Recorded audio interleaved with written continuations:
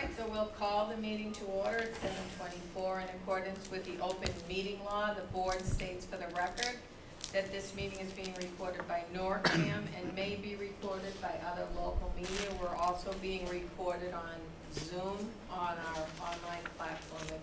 If you could rise for the Pledge of Allegiance. I pledge allegiance to the flag of the United States of America and to the republic for which it stands, one nation, under God, indivisible, with liberty and justice for all. All right. Welcome back, everybody, to in person. This is an interesting little hybrid meeting we're having tonight.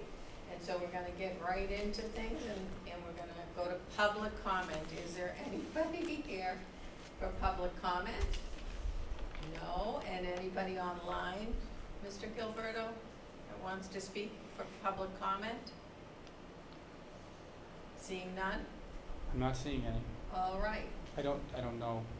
I have a feeling Mr. Magazine may be here to, to speak on an issue that's not on the agenda, so he may wish to speak on. You, you wanna hit continue on the screen, Mike, so we can get that, Maybe it's in the chat. we have like multiple computers. All right, we're just gonna be patient as we figure this, Figuring it out. figure this out.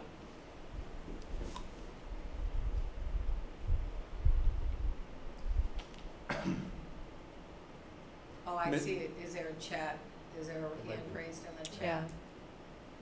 No, it looks like Message. Those I'm getting a note that there's no sound. Oh. Mr. Magazine, can you hear me? I can, And we can hear you as well. I can, I can come down there in five minutes if it makes a difference. We Were can- you here to speak? Um, do you provide public comment to the board? Is, is this the right point in the meeting for, for this? Yes.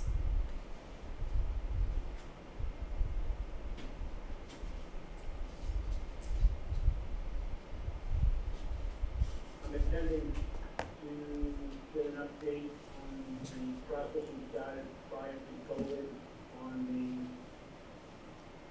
uh, the, im- Yeah, Yes. better, yeah. that, yes, I'm, I'm here tonight to, uh, get an update on the process we started pre-COVID. Um, I've been waiting a long time to, um, purchase the town, town land so that I can build my son a house and, you know, I have the lot there, but this works a lot better with the town-owned land. And, um, that's what I'm here for. Okay, so you were just looking for an update. You weren't here to provide public comment. You were just asking a question about something? I, I didn't see, see where it was on the agenda for tonight, so I guess this is the, the point that I bring it up. Is that Okay. correct? It, it isn't actually on the agenda for an update, so. Okay, so what, what uh, time is it on the agenda? It isn't, no, it isn't on the agenda, but we can still note your comment about that you're making an inquiry about where it's at in the process. So, Okay, okay? very good. All right, okay, thank you. Ju- Just as a follow-up, Madam Chair, Sure, Mr. O'Leary. where are we at with the, uh, yeah, this was up on Poplar Terrace, I think, in that area? Old Andover Road, Poplar Yeah. Terrace, right? So where are we in the process, not just on this one, but I, the board took, um, positive action on putting town-owned land up for sale prior to COVID. Um, and I understand how, quite delayed Oh, of course. Yeah, of I course, mean, right, if so you're looking why for an delayed. update to say we've reinvigorated the process, you're not gonna get that update, and neither is Mr. Magazoo, because Well, we, we the- haven't done anything in terms of auctioning land off, so. But what I think we can do is have it as an agenda item in an upcoming hearing, and especially the ones that we took action on, um, that we can move forward in the process. We can provide an update at the next meeting, or if there's anything further. I don't even know if you're prepared, Mr. Gilleberto, to talk about it, but um, clearly, there were, there was a halting of a lot of things during COVID. No, I- So- I understand, but Yeah. again, the door, the board took uh, positive action on some specific parcels. uh, you know, well, Sure, Yeah, we can take a look at that then. So what, what, um, We can, we ta- we can take a look at that list Can I again, finish my Mr. question? O'Leary. Where we're at in the process is your question? Well, let me ask it. Yes, where are That's- we I at in think the you already process, did and then what is the it. timeline associated with when we can give these people an update as to when the action's gonna take place? And I'm not sure if they've, if you have updated them on that, Mr. Gilleberto, or even if you're prepared to update the board as to that process, and if you're not, we'll put it on an agenda for another meeting. Madam Chair, through you, so there, there were a number of parcels that were approved for uh, auction pre-COVID, um, as we've just described, or has just been uh, discussed. Um, There were also parcels where the board desired to see that adjacent town-owned land be included in that, and my recollection is that some of that is not yet authorized for auction. So our intention is that the agenda, at an agenda which, during which time will allow, go through all of those with the board and review which ones need to be coupled with another parcel to be sold. And I'm not, I'm not even certain that this is one of those, but I- my, my recollection is it may have been. Um, but our thought was to put on the, the general issue of the town-owned land and to clarify all this and take the appropriate action moving forward after that. Sure. Um, there were two parcels that were auctioned back in October, November. I'm Mhm. sure the board remembers. Those par, tho- those were parcels where we had directed the owners to draw a plan, go to the planning commission, expend money. We wanted to make a whole on that. You know, these are obviously important requests, but we're not quite at that point in the, uh, in the, in the process. But, uh, I think our hope, Madam Chair, through you, is that we could have it on the agenda for June twelfth, assuming there isn't anything else that, July Sure. July twelfth, That'd excuse me, thank you. June twelfth of next year Yeah. might work too, but no, that would be great. And, and that's why I don't mean to put you on the spot, Sure. which I feel like this is doing, because, because we don't have it on the agenda. But Madam I don't Chair. mean to put you on these spots, so I appreciate your update on it, but we can certainly address it at the next meeting and go over those. I don't even remember the addresses of those parcels. I believe that was pre-virtual meetings, It was. it was so Yeah. long ago. Yeah, well, So I don't, my memory isn't that, is not gonna be that far back on it, so. Madam Chair, through you, I- I see Mr. Magazoo's hand has gone up again. This started over three years ago, and we we're at, at the final step, and, uh, the town, went to their attorney to modify the, uh, thing at the end. You know, not, not for nothing, but during COVID, you my taxes on my piece of land that wa- was well under a thousand dollars, to, now like forty-five hundred dollars a year, so now I'm sitting on a piece of land that, that I've spent two, two years at nine thousand dollars for, you know, which wasn't that way before. So, you know, I, I, I own land, land that I- I'm just sit- sitting on waiting for the town. And we started this process, we engaged an attorney at that time, and now we're, we're sitting.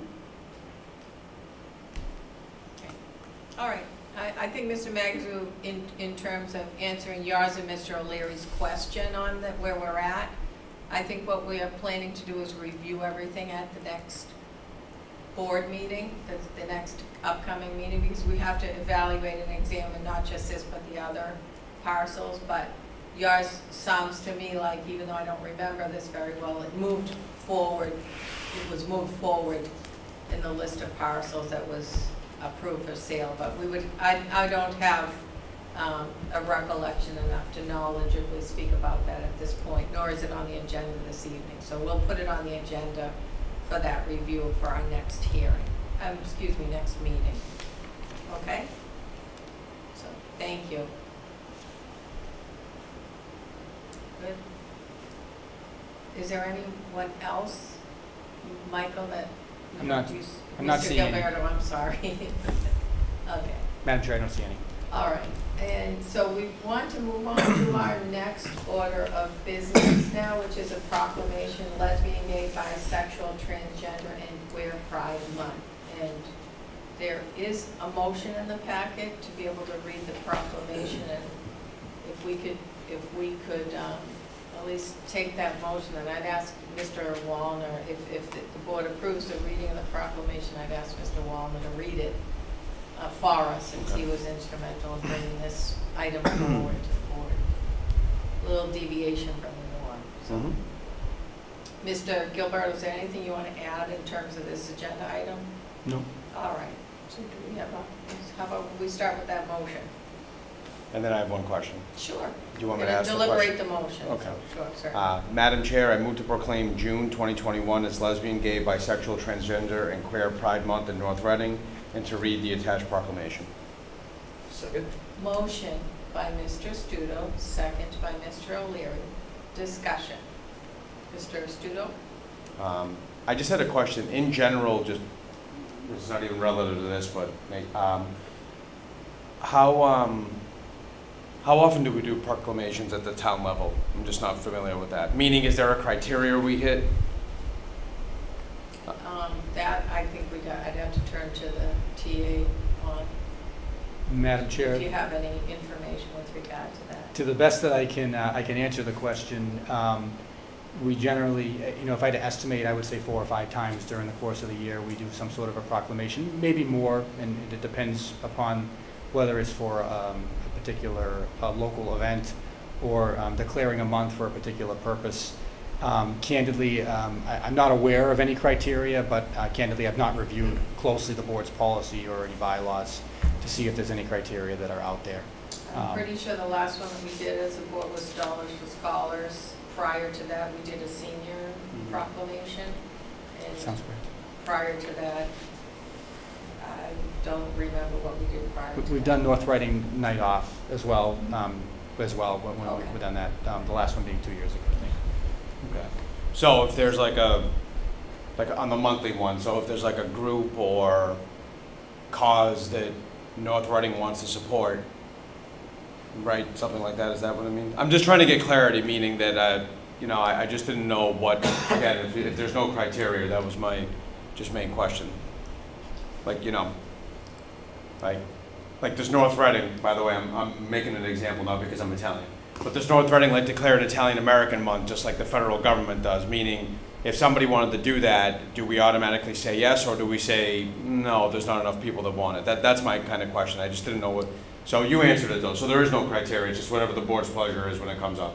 I- I would fair? just caveat that by saying I, I have not reviewed the board's policy Okay. with regard to this, and so I, I, I just, I can't speak to that part of it. That's answered, Any thank other you. questions? I have a question. Mrs. Gonzalez. Have we ever done a proclamation for the veterans? Um, I believe we do for Veterans Day, For a if I day? if I remember co- correctly. I, I don't have that in front of me, and as some of you know, I had a massive computer problem heading into this meeting this evening. Um, But uh, I, I know we, that- that the Veterans Agent asked us to approve, uh, to consider a proclamation um, in recognition of Veterans Day. I, I don't, I don't recall that it says month, but um, I know we are asked for Veterans Day at least. So, I, I mean, I'm just, I'm just gonna make a personal statement for myself. um, Because my aunt is a veteran and um, a gay woman, um, who I highly respect. And I had a conversation with her a while back, so I called her today. She lives in Alaska. I had to wait until the time was right. um, to discuss this and because uh, uh, my feeling is I would really like to see a Veterans Month before any other month. Um, if they don't have one, I don't really feel real good about supporting anything else um, before that.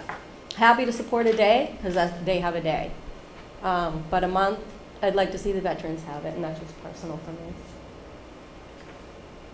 Any other questions or comments, or, I don't know, speaking from the chair, I don't, I, you know, I appreciate that, I just don't necessarily think it's dispositive how, of how we should vote on this proclamation. I think it's, um, I think, um, we have a veterans department that's devoted to veterans. And I'll work on I think that that. that's a, I'll work on that. I'll, I think it's a I great, will. I think it's a great idea if we, if we can, you know, research even months or weeks that might be devoted to veterans issues. I think that that's a great idea, and we should get behind that. We, we have, we do have a department that Mhm. you know, we, we do devote um, town resources uh, to veterans, and we try as a board, we try as a board collectively to, to devote uh, resources and more resources if we can, so I think that that's important. But I also think it's important for us to take a stand and make these types of proclamations, especially in our community, to be a more inclusive community, and I think this is a- an extremely important one. I don't know if um, anyone else wants to speak about that as we deliberate whether or not to approve reading of the proclamation. But I think it's, it's important for us to do this as a town, and, you know, that's just my, that's my opinion. And as a I agree, and Person I- representing the citizens of North And I agree. I, I, if it were, a- and if it's a day, just like the veterans have, I will wholeheartedly support it. And having that conversation with my aunt, she felt the same way. I ran it by her. I wanted her opinion. And She felt the same way as a veteran. She feels that that should come first. Anything else, Mr. Uh-huh. Studo? And I will add, like, so, I'm, I'm in support of this. A- Again, uh, for my generation, this is second nature. It is, it's just, you know, we grew up with, like, this wasn't a not, this just wasn't something I had to be concerned with because, like, we were just already, I, I guess I just was part of a generation that accepted, it was just, you know what I mean? It's second nature. You had friends, everybody. So we didn't need this per se. But I will say from, from my cynical standpoint on proclamations in general, I just don't want someone to come out of left field and take advantage of us and say, hey, because you approved this, you better approve Right. that. So that's what I'm just saying, that because we do live in a tit for tat world, so I'll just add that. And again, like I said, when I see this, it's like, so I'm just proclaiming something that I've already believed in forever, just because, again, I'm not trying to call myself the youngest one on this board. Like you always do. You know, so I always do, so, but that's what Right. I'll, I'll stay with. Thank you. All right. Um, And, I- and I don't know, if there- any other comments, questions, thoughts? Good? Yeah, Mr. O'Leary? I, I think it's a, I think it's a good idea. I, I'm glad you were able to bring it forward, and I appreciate the opportunity to, um, to take a vote on it. And again, this isn't something that the, the town of North Reading is necessarily coming up with, this isn't novel. Um, Federal government takes positions on these things and proclaims certain months, and uh, certain other organizations, uh, you know, and I don't necessarily draw a correlation between the veterans and, and this particular organization. Uh, Again, veterans, we, we provide a significant amount of resources uh, throughout the year uh, here in North Reading. As we should. Veterans Day is a national holiday. Um, And again, you know, we want to proclaim November because Veterans Day falls in there as a Veterans Month. I'm, I'm good with that too. Uh, But I think in this particular case, in this particular um, proclamation, I, I think it's uh, timely. I think it's necessary and I think it uh, helps uh, put an exclamation point after uh, an issue. So I, I think it's a great idea and I look forward to supporting it. Okay, anything else? We're great. All right, so we have a motion, and we have a motion by Mr. Studo, a second by Mr. O'Leary. All those in favor? Aye. All those opposed? No. It's unanimous. And I would ask, because Mr. Wallner was really the one that was instrumental in drawing this um, uh, matter Wait, to wait, our wait, attention. hold He- I Yeah, wasn't but- a, Mr., She was opposed, so it's not unanimous. oh, I'm sorry, I thought, I thought I heard, I didn't, I didn't notice it, okay, sorry. Okay, four in favor, one opposed. I I apologize for that. I accept your apology. Um, And Mr. Wallner, would you please do the honor of reading the proclamation for us? happy to. Uh, Lesbian, gay, bi, trans, queer Pride Month proclamation. Whereas we recognize June 2021 as Pride Month throughout the United States and the world, we're reminded of what makes our community great, our remarkable capacity to accept and embrace the lives of others regardless of our differences. In this regard, we stand together with the lesbian, gay, bisexual, transgender, and queer community as they declare their pride in who they are and whom they love. The LGBT community, sorry.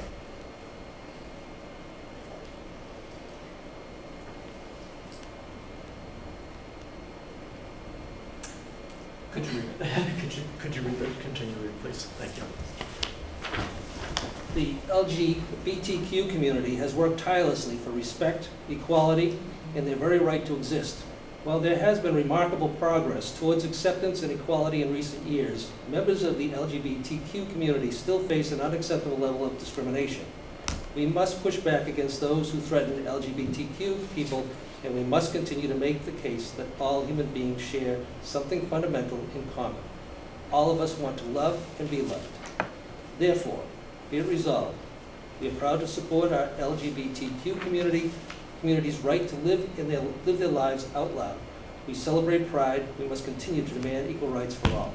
Therefore, be it further resolved, the select board members do hereby proclaim June 2021 to be Pride Month for the LGBTQ community in North Reading.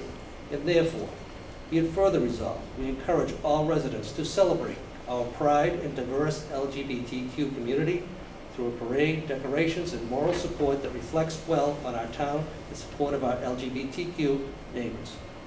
And we recognize LGBTQ residents whose influential and lasting contributions to our neighborhoods have made North Reading a vibrant community in which, in which to live, work, and play. Signed, Kathryn Manupelli, Chairperson Select Board. Proclaim this the 21st day, June 2021. Thank you. And Appreciate it. Thank you to both of you for reading it. And um, we did, there, there was a uh, parade sponsor too that happened. Um, I forget what day. Do you sign that and then put a? I know this is. I'll- She'll give it back to me. She'll give it back. You don't have a pen? Oh, you don't have a pen? I do, I do. Oh, I have to maintain order here. I mean, what's She's that? got it. And, um, Are you sure? Yeah. I do. Okay. Right on Sorry, too many things on my desk. All right, so thank you for that. And any other, any further comment? Any further discussion on that? We're Just, all, the parade was a great uh, turnout. There was a lot of supporters. And um, there was a request for a flag raising as well, but we don't have the um, the equipment to be able to do that. So I think the offer of the town is if anybody wants to bring out some colored lights to the gazebo, we could entertain that. And they should go to the town administrator to Correct. organize that. and we do have a policy on flag raising to that Oh, point. okay. that Is, is pretty specific and particular um, with regard to what, you know, flags, we have two flags, the American flag and the uh, Veterans Memorial flag, and a specific policy on that, so. um, But again, the, in, the thought was, just like the blue lights um, were all on the gazebo, that perhaps rainbow, because rainbow is symbolic of gay pride, that perhaps someone could come forward and we could put, we could act through the town administrator with rainbow lights. I don't know if they make them, but I'm I'm sure sure they they do. Right. A few colors would go a long way. Sure. So It's that the would idea. just be a nice, another nice symbolic Yeah. gesture. Probably could even get a light up rainbow. Yes, yeah, Yeah. And this is in support of people who don't feel supported. yes, High school and up. Yes. Yeah, and for the record, I, I was all for a day, just not a month. Okay, so, and then we're gonna expect to see something from you on veterans. 'cause I Yes, think you We're will. all for that as well, Yes, you so. will. Okay, thank you for your indulgence. and And I will, I will just say, I'll just make a final comment, because I o- often have middle schoolers, sometimes high schoolers don't yet drive their own cars, but this is, like Mr. O'Leary said, timely. It's important for us to do it, because as, uh, you know, as far advanced, so to speak, as we think we might be, you know, even the older ones on this board. uh, I never There's a lot of anybody old. things that there's a lot of undercurrent in this town that we might not be in tune with that your, our children bring up to us. And this is one of those issues where I think it's very important for us as the representatives of the town to stand forward on this. And I don't necessarily think every single one of these issues that, you know, comes forward is something that the citizens of the town want us to stand, stand up for, but I think this is certainly one that they do, so, so thank you to, to. Well said. All right, so we're gonna move on to our 2021 Youth Core measurement survey results. We have our, you know, superstar Amy Lutzkowitz here, who could tell us a lot about the youth in the community and where they're at, so we're happy to hear from you. Welcome. Thank you. Shall I just um, activate this? I do have a PowerPoint today. Come on. Madam Chair, through you to NORCAM. Can we hear? Yes, she has a microphone Okay. that's laid in front of her. Uh, Amy, if I could just remind you to just speak up because Sure. the Zoom participants need to hear through that Oh. speakerphone. And um, Phil, you guys are going to zoom in on a screen for the PowerPoint presentation. Oh, no, presentation? we're actually, PowerPoint, we, we have it. You have it? You're good. Very. Great. Yeah, we're good to go. Awesome. Oh, Thank good. you. Ready? Thank you. Okay, thank you. As you all know, every year, as part of our federal drug-free communities grant, um, we take measurements about how youth uh, view drugs, um, use drugs, and other attitudes related to substances. Um, we are in our fifth year. I can't believe how fast that went by. We have just three months left on our federal uh, federal grant. This flew by. Um, I'm sure Mr. Guerrero updated everybody that we did submit a renewal. It'll be uh, valid for five more years if we get it, but we don't find out until August.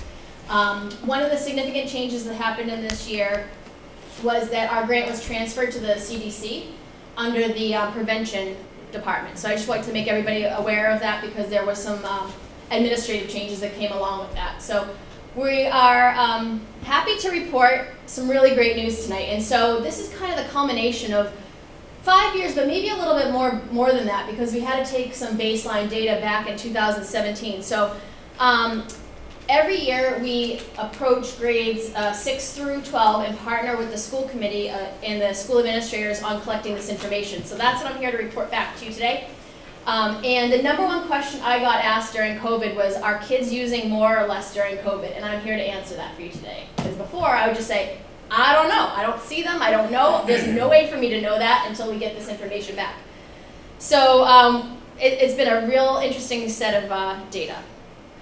Um, one thing I want to point out is that you'll see the participant level down in grade 11, and that was because the high school administration decided to um, collect information just on one of the upper grades. They have assured me that next year it'll go back to full participation. Um, so those two people who, uh, those two juniors who responded, thank you, but um, unfortunately it's not valid, valid data for us. So on the information that I'm going to report back to you, just keep in mind the, the why that's going to be right is because for us that's obviously not statistically valid. So let's start with alcohol use, and I did want to put the graphics right up there with the data, with the, um, the data set. And you'll, see, you'll see a, a trend down. This is a really big deal for us. Um, one thing I want to point out is that, as I mentioned, in 2017, when we started this, we did collect baseline data.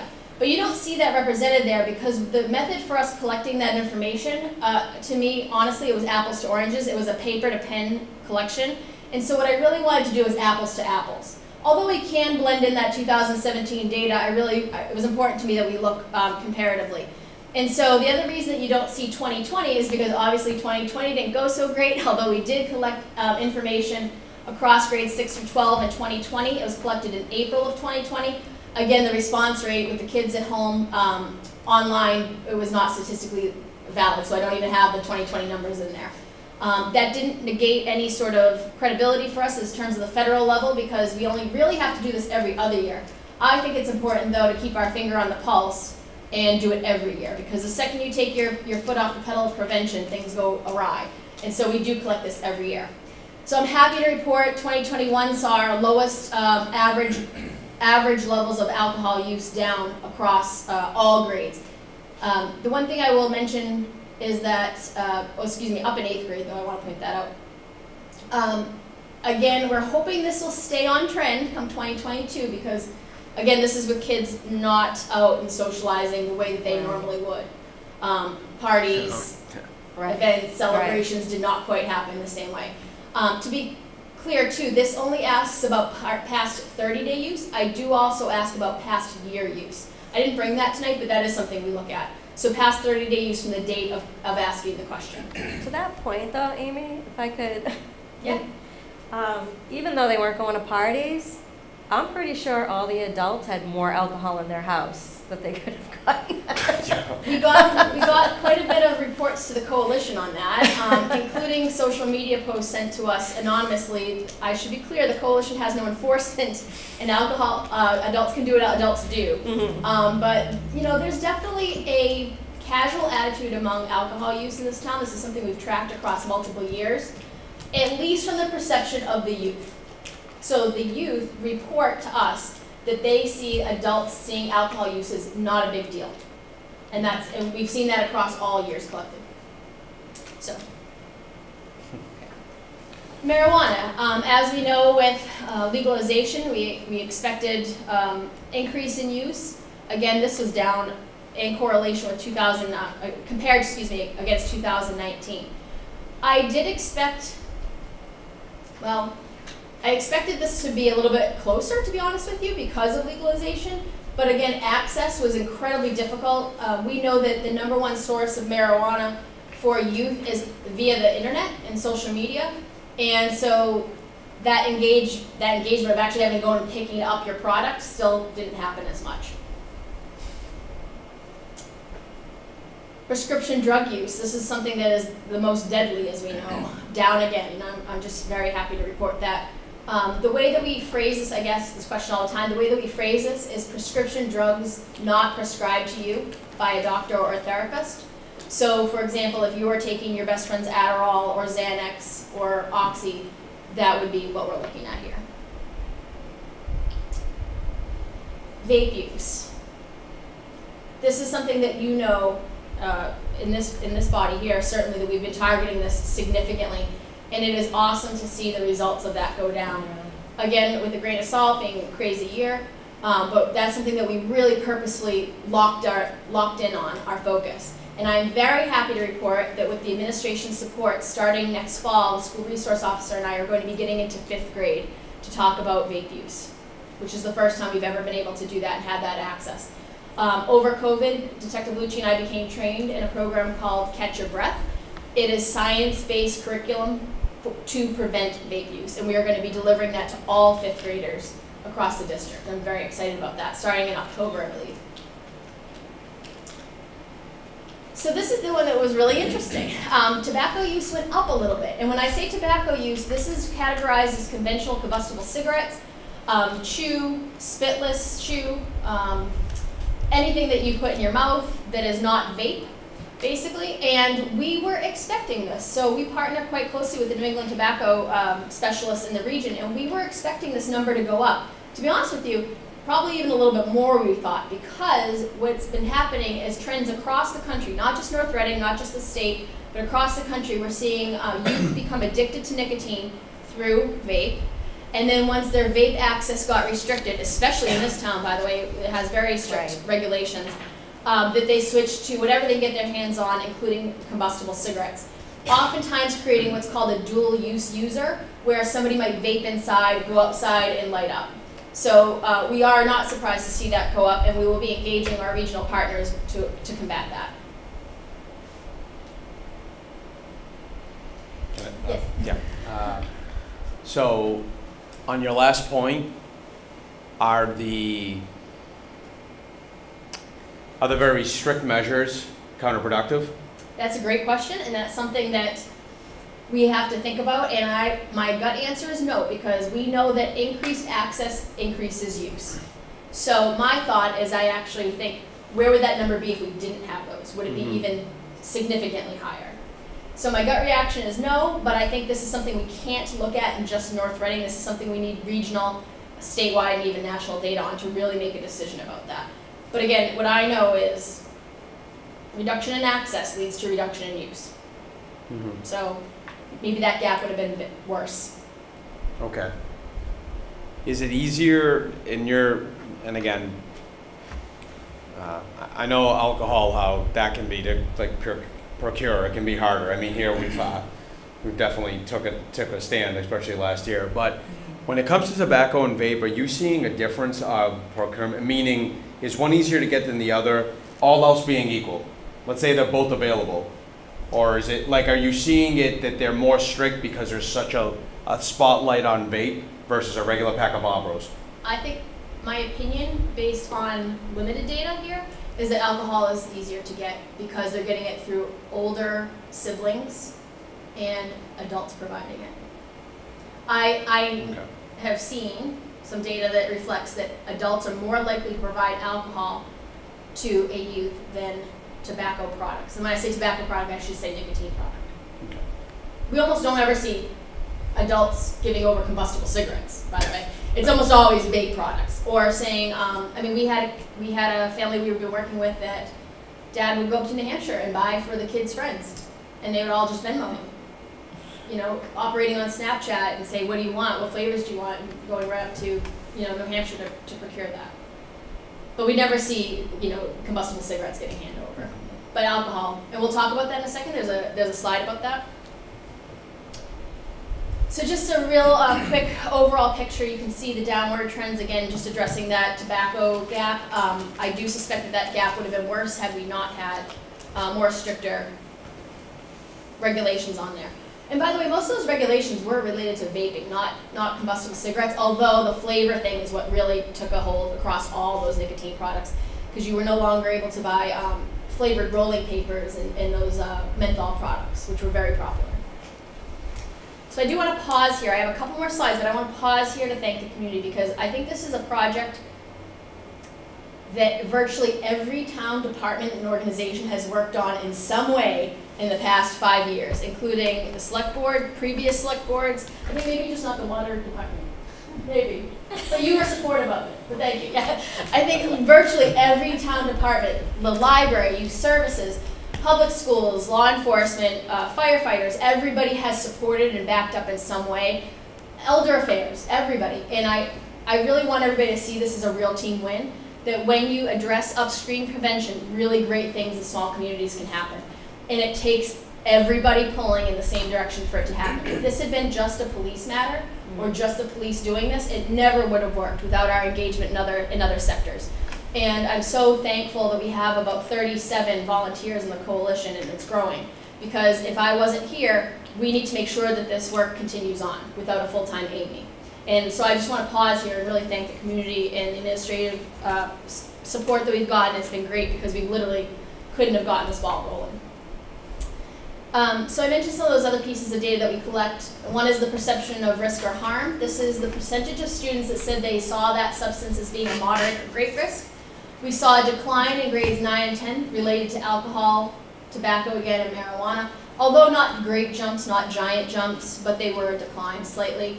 Um, what we want is these numbers to be high. We want the perception of risk or harm to be high because another prohibitive factor is when kids think something could hurt them long term, they are less likely to try it. Although I want to remind everybody, because we forget as adults, their mindset is, it won't happen to me. I can't get addicted. I, I would never have these negative health effects. And for me, I lost my dad in January um, to lung cancer. He started when he was a teenager and nobody intervened. And he didn't quit smoking until six years ago.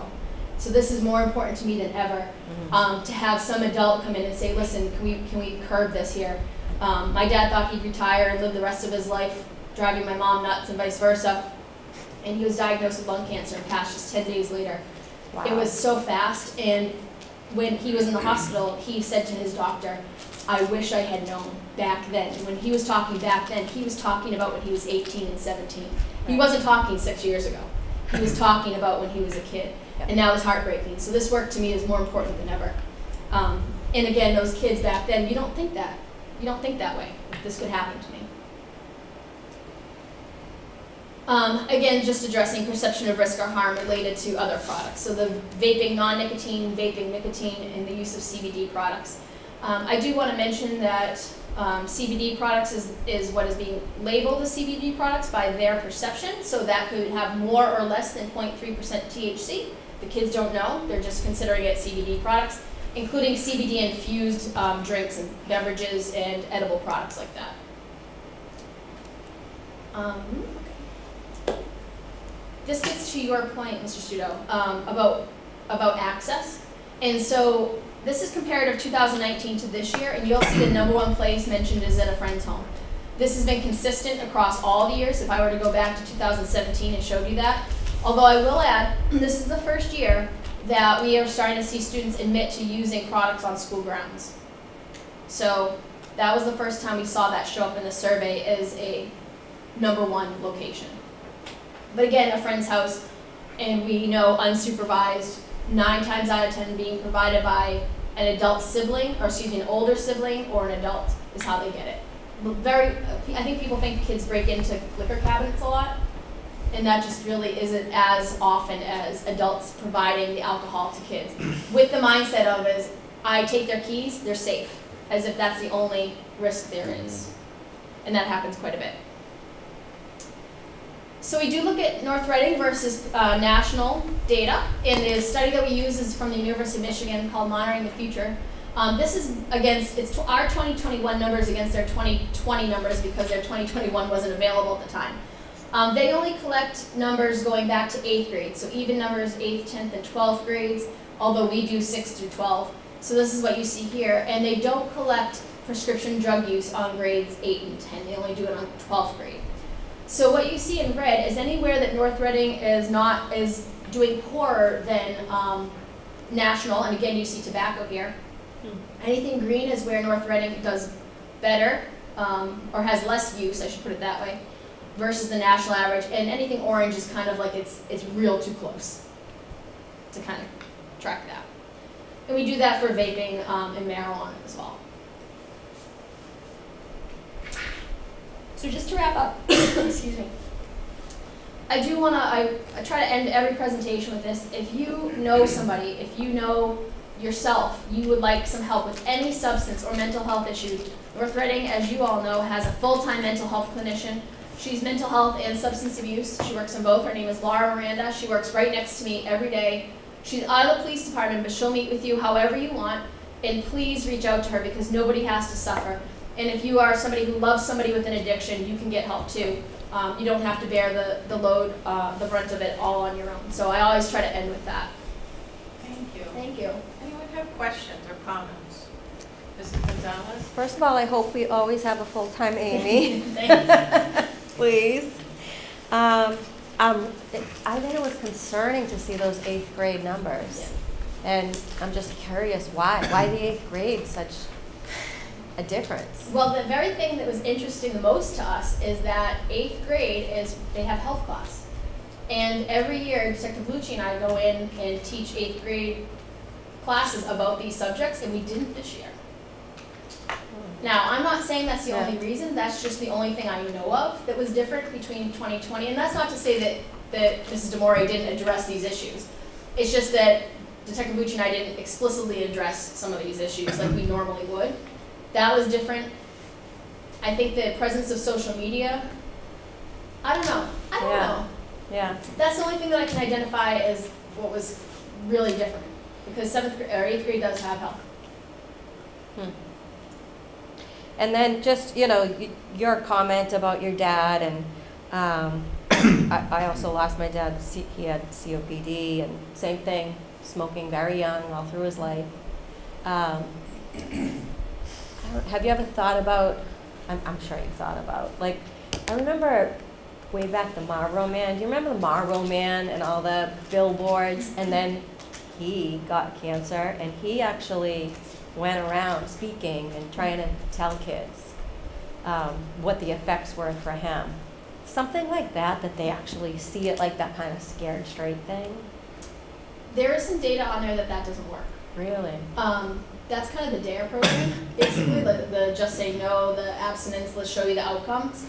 But again, when, because we're adults, we don't remember what it is like to think that way. What they'll see is either um, that won't happen to me, or he survived it, so will I.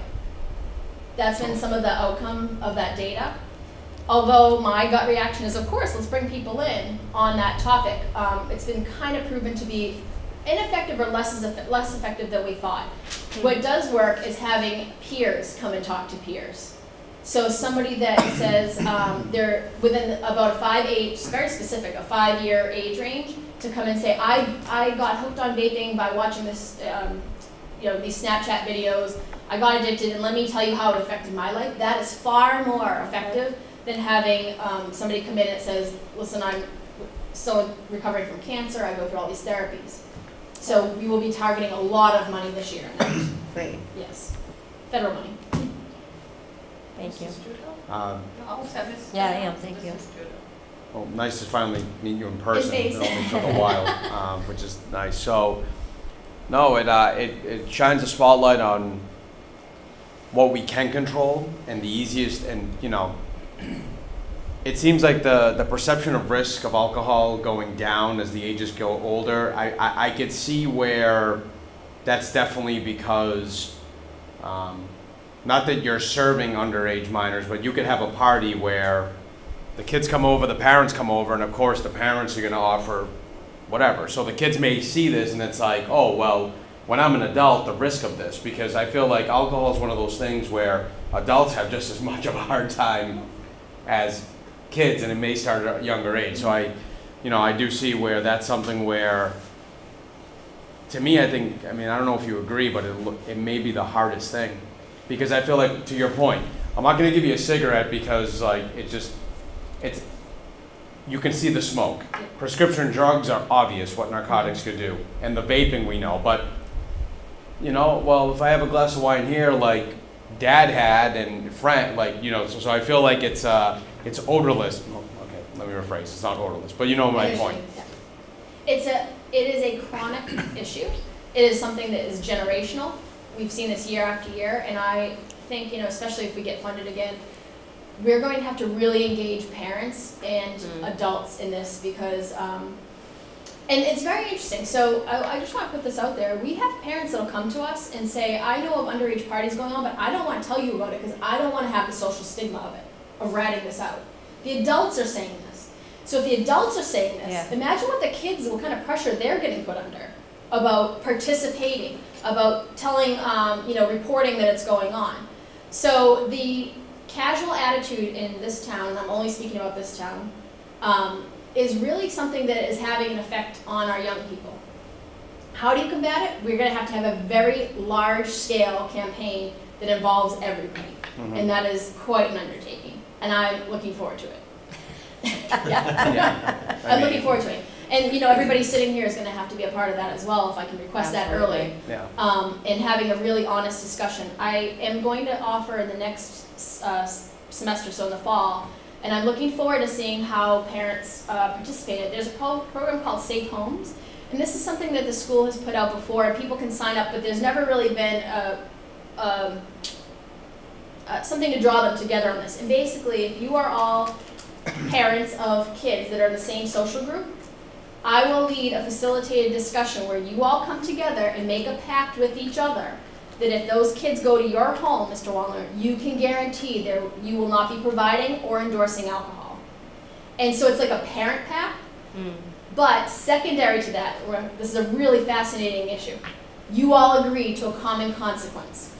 Because what's happening is the parent will say, I don't want to, I don't want to um, punish, uh, you know, Rich because, uh, you know, Sean had the same thing happen, but his parents just gave him a slap on the wrist. So I don't want to be the bad parent and give you, you know, a week of punishment. And this is happening all the time, where parents are comparing each other to say what was the what was the consequence. So in this discussion, I lead a discussion where we all kind of agree on what is an appropriate consequence, and that you all agree to that consequence if any of your kids get caught.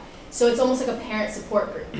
And, and I will, I'll, I'll, I'll end with this because I, I know we have to move on, but that outreach you're talking about does work when it starts with the parents because uh, I was born in Italy. There, alcohol abuse is just not an issue because it's just not, it's not romanticized. It's just not a big deal. Like, you know, if you want to try a little bit of wine, but your parents be the first ones to be like, this is not a big deal. So I feel like, I'm not saying that will work here, but I see your point. It starts with the parents, like from an early age, being like, yeah, it's there. Who cares? Where here, it's like this, this thing of like, oh my God, this forbidden fruit that I can't get my hands on. Just like a lot of things. So, And that's No. one aspect. I think one aspect, I feel like, uh, to your point, generationally, I, can- you can even make the argument culturally, just here in this country, Certainly. just because of how it is. So, Certainly. but yeah, no, that's great to hear those. I, yeah, there's no other way to get those numbers. So, thank you. Yeah, that's the plans. Any other comments, questions? All It's just- It's just concerning that our tobacco use is beating the national average, because I was wondering where the benchmark was, and Yeah. when I see that, that's very concerning. Yep. I don't know, how can you make tobacco use look ugly? That's all I can think of. Uglier. More I mean, Uglier. More, yeah, more, More than it yeah, already what else is, can like, you do? you know, I mean, it's, it's an ugly habit, and, uh. But I think that's it's where we, Concerning that that's, I don't know why we would be indulging in that compared to the national average, doesn't make any sense to me. I, I don't know, but if you think of it again, s- addiction is addiction, Yeah, and you will go to great lengths to satisfy that addiction when there is a true addiction. yeah, And so when I'm, what we know is when the kids get hooked on the nicotine from a vape, which is Yeah. glamour, you know, glamour and Yeah. glitz and social, I have to get that. I know the consequences, but I have to take care of that addiction. That's the only thing I can say to justify that. It makes sense, yeah. right? I, I saw, I saw that with an adult, my Yeah. adult friend, yeah, who couldn't get her vapes and she went back to the cigarettes when we went on vacation, yeah. Yeah. So you gotta get it. Any other question, comment? Um, no, just again, your enthusiasm, uh, but more importantly, the positive impact that you've had in the time that you've been here is Mm. substantial. Thank you. And again, you, not- not that you started from scratch, but we've, we've made significant progress. And I think public awareness is certainly up uh, due to your efforts, and Laura's, uh, commitment that the board has made the last several years to ensure that we have these resources. And, uh, well, let's hope the federal government comes through with the, Yeah, with the grant money here yeah. and, uh, and continue this on for another five years because it can only help, uh, for sure. And uh, again, I think every year I hear, time to come before us, you know, the different tacks that you're taking, um, is- is of interest certainly, but it's, uh, the impacts, you know, so you see little incremental changes for the positive. Again, when it comes to tobacco, that's a head scratcher. But, uh, yeah, other than the vaping, I mean, the flavored vapes and stuff like that really caught on and that that hooked a lot of kids, so, a lot of other people too. So anyway, again, I applaud your effort, I enjoy your enthusiasm and what you bring to the table here, what you bring to the board, to the community as a whole. So uh, again, I hope the, the program is continued, and uh, if it isn't, we need to take a look at what do we need to do. Thank you. Mhm. From the chair too, I, I really think that the data is always an eye opener for us, and I appreciate that you're giving us these regular updates on the data. I'd like to see if you can do it this way, this, and I know there's a margin of error with tracking it this way, but by class, class of twenty twenty-one, class of twenty twenty-two, because you can track almost, I'm shocked at the sixth grade numbers too. That, I know you were shocked at eighth grade, but I'm shocked at the sixth grade numbers.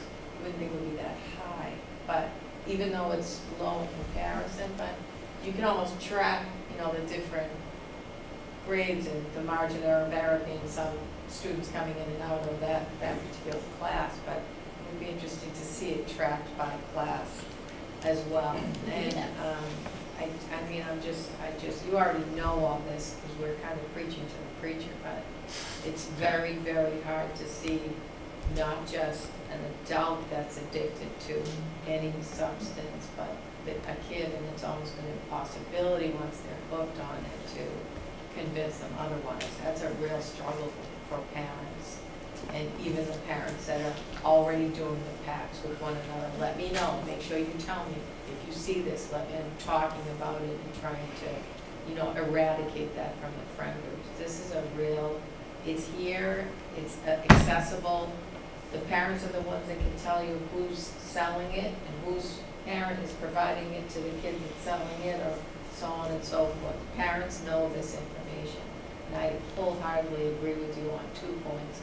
Parents have to be playing a much more active role in this, but as someone pointed out, parents, there's a lot of parents that are addicted to all of those same substances, so they're not even present to be able to do that.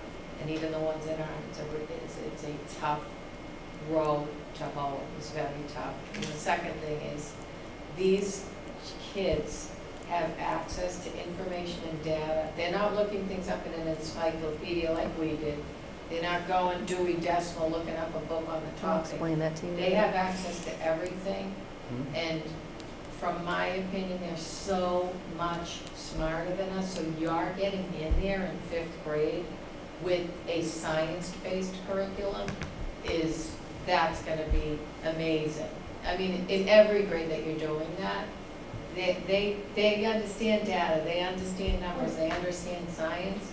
That, I think, is gonna have a tremendous impact. They're accepting of that type of an education. I think it's different than that dare suitcase, you know, with all the different, like, little dr- drugs. And as formidable as it was to have a police officer come in to class, they're kind of the same, in the same stead as a parent don't do drugs. And, you know, then, you know, it's a matter of, you know, who your social group is, so, as a, as a kid, so. But I think that, that the work you're doing, like Mr. O'Leary said, and everybody is commenting is so important for our town, our community. And I'm so appreciative of every, everything you do, everything Laura does, everything the committee does for you. I, I would say make use of that committee for all of this stuff, because, you know, sometimes I get from the members, and I think they want to take an active role in what you're doing too, so make use of those members. And, uh, a more active role, I mean, they're happy with what's going on, but, but thank you so much for all the data and information, all the work that you do for us. Thank you, everybody. Glad to be here and reporting good news. Yes. That's good. Great. Thanks. We're glad to hear it. All right. I think we might probably, perhaps because we, we have people in the wings listening and waiting, maybe jump over a couple of the agenda items to get to them, to the, um, water rate hearing, Mr. Gilleberto. Oh, we got a hand raised. Please, Mr. Gilleberto. Thank you, Madam Chair. Yes, we had uh, advertised for a 7:45 water rate hearing. Uh, I do think it's important to hear from the water superintendent, who's joined by the Public Works Director, relative to our um, overall water use, because I think that the two are related. We had that on as an agenda item just prior to the hearing. I should let you know I've been in communication with the chair of the school committee. Uh, We were shooting or aiming to have a uh, joint meeting at 8:30. We are delayed, they are also delayed, and so right now we are, are working on a timeline of having that joint meeting with the school committee participating, we, we believe virtually at approximately 9:15. So if we kind of just want to keep going through the agenda, that's probably our best bet. I thought we'd be done by now. I do too. I know. They like to talk They- They, they are, they are, will- they, know. I'll tell you, they are, school committee. they are, well, to They their, to just the, go on and On and on. on to the school committee's credit, they were willing to, to recess and, and come here Good. now. They might have to do that. so But we- we have a- See how fast we can get through. We have an advertised hearing, so All uh, right. we're sort of in a tough right, spot. so let's, And- um, And Madam Chair, through you, I, I- he doesn't know it, but I need to set the water superintendent's computer to broadcast through Zoom so those at home can see the PowerPoint. It might be a job for you in IT someday. I don't feel I'm doing such a great job, to be honest with you, but thank you. but uh, not yet another thing upon report. Um, I should thank Brian Carter, who has, I think on four occasions in the past five days, bailed us out. We will thank him. I already Yeah. thanked him tonight when he got my thing up and running. With his two, although I think it might have been his two children that got it running, but Two now. Yeah, it might have I been, that's couldn't it, right. you know, That's why he brought them. Oh, so cute, yeah. Train them young. Get, get, get working. Mm-hmm. So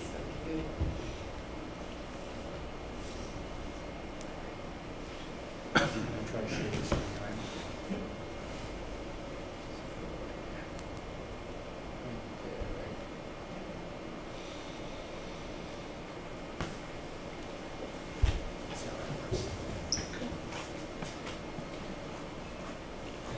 I'm gonna try to share this sometime. So evening. Madam Chair, through there, there is a hearing notice, if, uh, the clerk would be so Yes, willing just to read that, just read read the it. notice for the record, please. It's in my packet, right? Yes. Sorry. And I would tell you the page number, save for that Right, I don't have access to, to do so. Town and North Reading meeting notice, water rates and capital plan hearing. In accordance with the requirements of section one ninety-one sixteen and one ninety-one seventeen of the Code of North Reading, the Select Board and the North Reading Water Commission will hold the annual water rate and water system capital plan hearings on Monday, June twenty-first at seven forty-five PM. Please refer to the calendar on the town website when the Select Board agenda for the meeting is posted on Thursday, June 17, 2021. To find the venue for the hearing, the calendar may be found at the following address, northreadingma.gov slash node slash 166 slash events.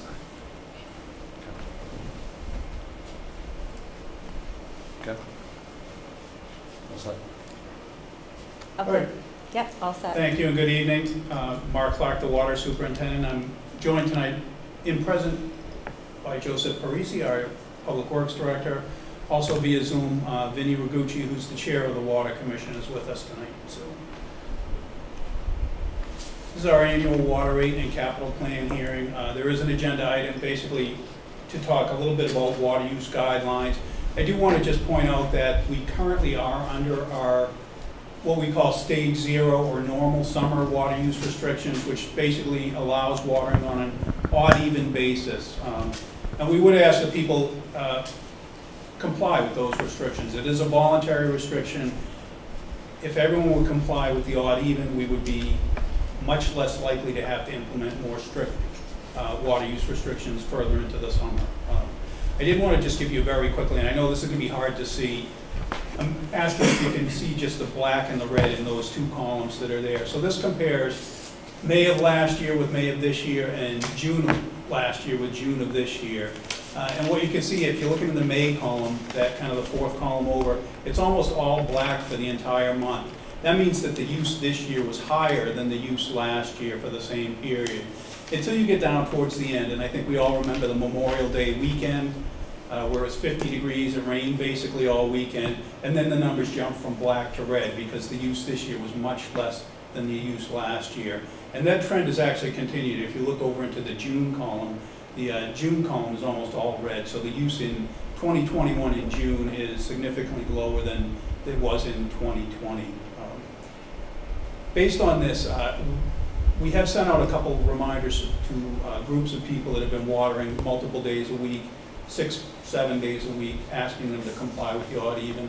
Um, We're at a state where we're doing well, I would say, this year. Compared to last year, right around this time last year, we bumped to the two-day-a-week watering just because the, uh, the use had gone up. If you, if you can see in that 2020 June column, there are a few days where we hit the 2.6, or even that, that one that's highlighted green is 2.7 million gallons a day.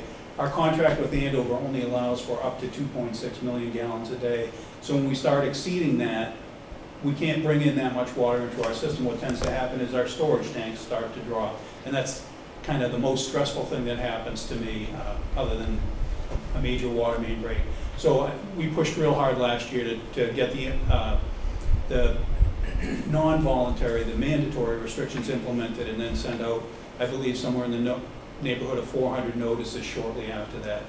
At this point, we're not recommending any higher level of water use restrictions, but we certainly do reserve the, uh, the right if we get into an extended period of hot, dry weather. Uh, the one thing I'd point out in these columns, like if you look in the, the May column, as you get towards the bottom, we're up at 2.2 or 2.3 million gallons a day, and then we hit that rainy weather, and it drops by 0.7 million gallons a day. That's a huge drop. And what you'll see is if you go over to the June column, over about a week of no rain, the use tends to, to bump back up. But we've had rain every week or every 10 days. Um, So we've been considerably different than last year. And really, this was the time last year where the drought really kicked in. So we're in fairly good condition right now. um, But again, we'll keep, keep you advised. So this is the water rate hearing. Um, Here's just a summary of the water rates. As most of you recall, the last time we addressed the water rates, we were actually here in uh, December and uh, recommended a two and a half percent rate increase, just based on what we were seeing for sales versus the cost of water. Um, It obviously cost us a little more to buy water from Andover, and uh, based on that, we had that two and a half percent rate increase that went on to the February bills. We do have a fairly substantial retained earnings fund within the water department. Some of you recall the Stickney Fund. Uh, We still have about $135,000 in that fund. And then we also have what we call the Water Department Infrastructure Stabilization Fund. And you can see the money transferred in or transferred out based on town meeting votes. Uh, When we were looking to go to MWRA, we raised the rates fairly significantly in advance of that, and you can see that that gave us some years where we were putting a million dollars a year into our stabilization fund. And then the last couple of years, prior to just this February, we kept the rates the same, and you can see how that uh, transfers in kind of drop off. So the costs continue to go up. Andover basically raises their rates more than two and a half percent, and based on the deal we negotiated with them, that causes our rates to go up by two and a half percent for these first number of years of the contract. So as the cost goes up, We didn't raise the rates, more cost, less revenue means that that, uh, that number went down. And you can see that the most recent transfer is only fourteen thousand dollars in this June. Um, We're also buying, and I'll go into this a little bit more later, the, a, a truck out of the uh, infrastructure stabilization fund, which is that red hundred and five thousand dollars you see. So we really have about two point seven seven million dollars in our infrastructure stabilization fund. There is no real industry standard, it is really town to town uh, specific.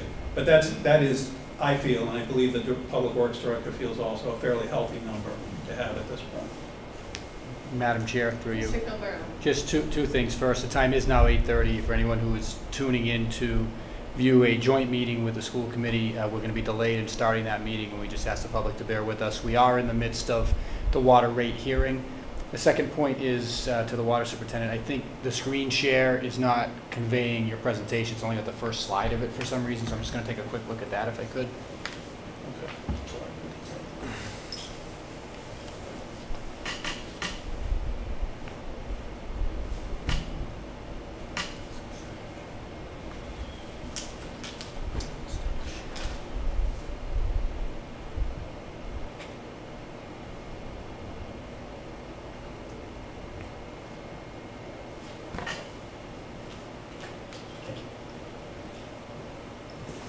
Thank you, Madam Chair.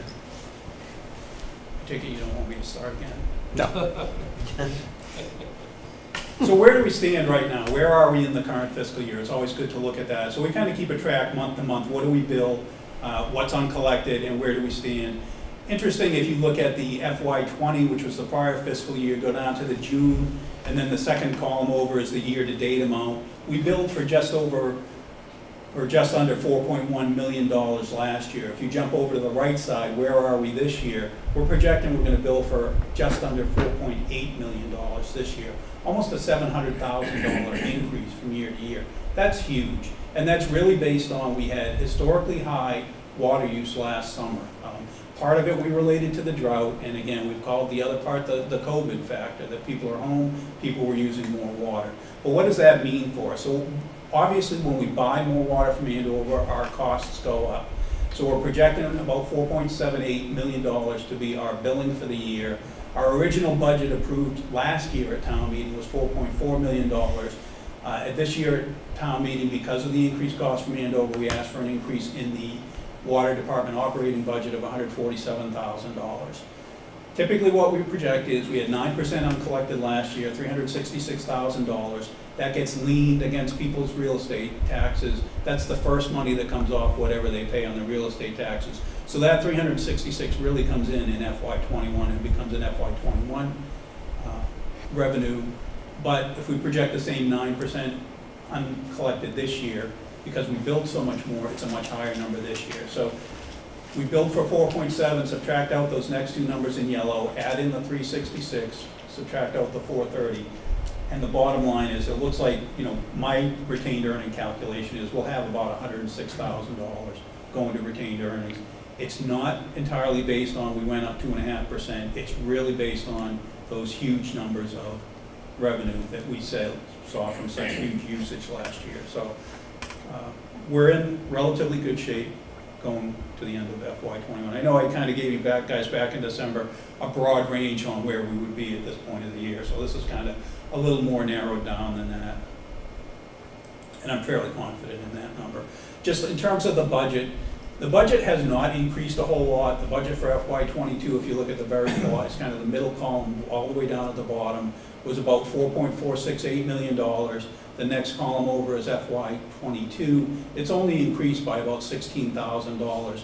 And with that, I, I I know I make that a small number, but in terms of a four-plus million dollar budget, that's a 0.4 percent increase in the, the budget from year to year. So what happened? You can see there's some huge changes there. Personnel decreased significantly. We had a couple of positions that we've uh, been holding, we hadn't filled in recent years, and now that we've gone to Andover, we don't intend to fill those positions. We took the money from those and moved it into our expense side because knowing we're buying more water from Andover.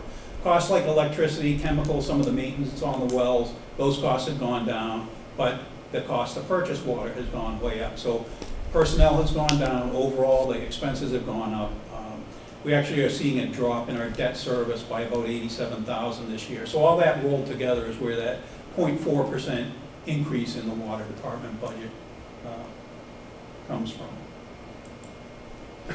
We pay a number of indirect costs. If you read the, uh, the town meeting budget article, you'll see general insurance, eleven thousand three forty-four from water revenue. So we're an enterprise fund. Anything that it costs the town to support the water department, we basically reimburse the town through these indirect costs. And the finance department, once a year, will do a transfer to take money from the water department to pay uh, these indirect costs. Um, We're just under half a million dollars there in terms of the services that are provided. I'll just touch really quickly on this. So this was also approved at town meeting. This is the capital, uh, this is also the capital hearing. So this is the capital plan that was approved at the town meeting.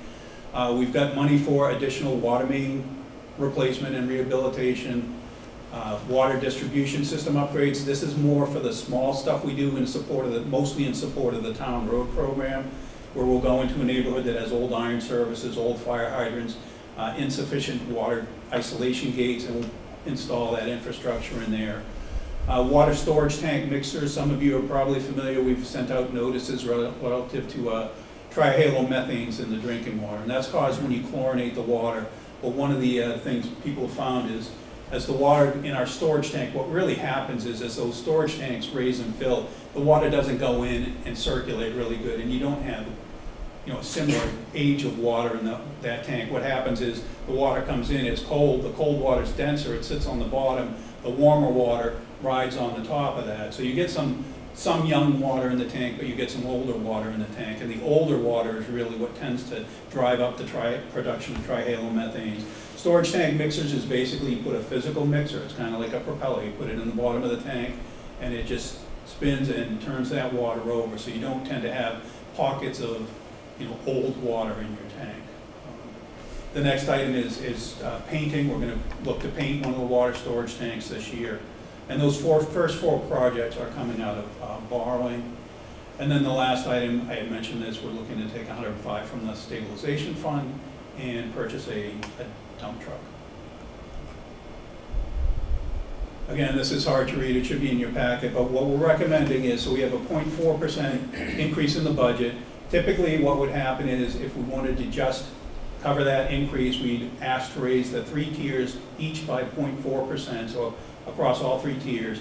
Um, we're actually recommending, or my recommendation is a, a two and a half percent increase. That's really to, to get back to generating about hundred thousand dollars into that reserve fund. As you can see, we had a small project for hundred and five that we took out. So rather than start depleting that, to make sure we're in a good, positive financial, uh, position going into next year, we're looking to, uh, to raise that hundred thousand dollars.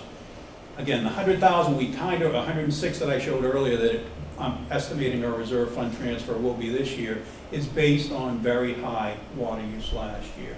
If we don't see that same type of water use, we would not be able to generate any type of retained earnings. Um, so we're recommending across the board, on all three tiers, a two and a half percent rate increase.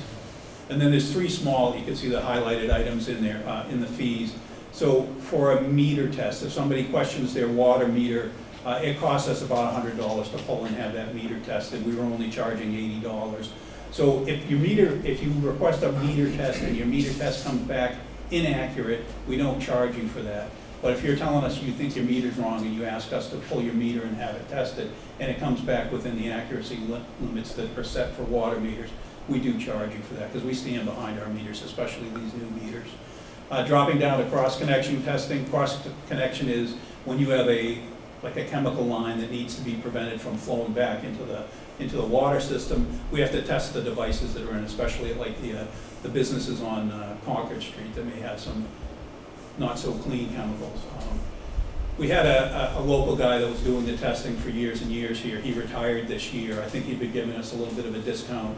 Uh, subsequently, the, the cost for us to test cross connections has gone up with the new consultant we're gonna have, so we're asking for that to go up. And then fire flow tests, a couple times a year, we'll get a request from our sprinkler company looking to build a new building or do, uh, a renovation and asking us to come out and conduct a fire flow test for them. We usually do them at like ten o'clock at night, we bring guys in on overtime. we had only been charging two hundred and fifty dollars for that test, and then recalculating what the guys, you know, they get a four-hour minimum, what their overtime is, it's more like three fifty. So we're asking for that, those three fees to be raised at as well.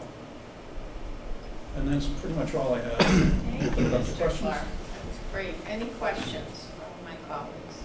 Mr. Stuto? Um, So, when, the more we use, the more we have to give Andover? Is that correct? So it- it's basically a per volume, Okay. so if we buy ten gallons and we jump to twenty gallons, the cost to us goes twice as much, Okay. yes. So, but, so my question is, besides cost, um, do you foresee any capacity issues if we use, so meaning, when we issue these different warnings for the, you know, how much water to use, is it based because we're trying to keep costs down or because we won't have the capacity? It's based on capacity. Okay. So like last year, did we hit capacity? There, there were days we hit capacity in Eh. June, which led us to implement the more stringent Okay. restrictions. And what happens when we hit capacity? So if, if we're taking as much water as Andover can give us, and again, there's a bump in 2025 where it goes from 2.6 million gallons to 3 million gallons a day. But if we hit capacity and we're above capacity, that's gonna come from somewhere. And what it really does is it reduces, with that volume comes out of our storage tanks. So we could lose three feet today, three feet tomorrow, and eventually our storage tanks tend to get to the point where fire protection isn't as good if you live on the top of the hill like some of the uh, people in this room, your, your pressure tends to decrease as well because of the, uh, the reduced water level in the storage tanks. Uh, so it becomes, it's really a, a public safety issue at that point. We like to sell water, but we have to have the water to sell in order to, uh, to be able to do that.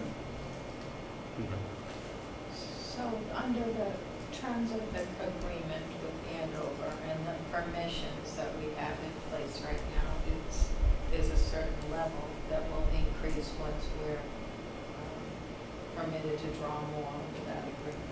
So under our Water Management Act, which is the state permit, we are required to take up to three million gallons a day.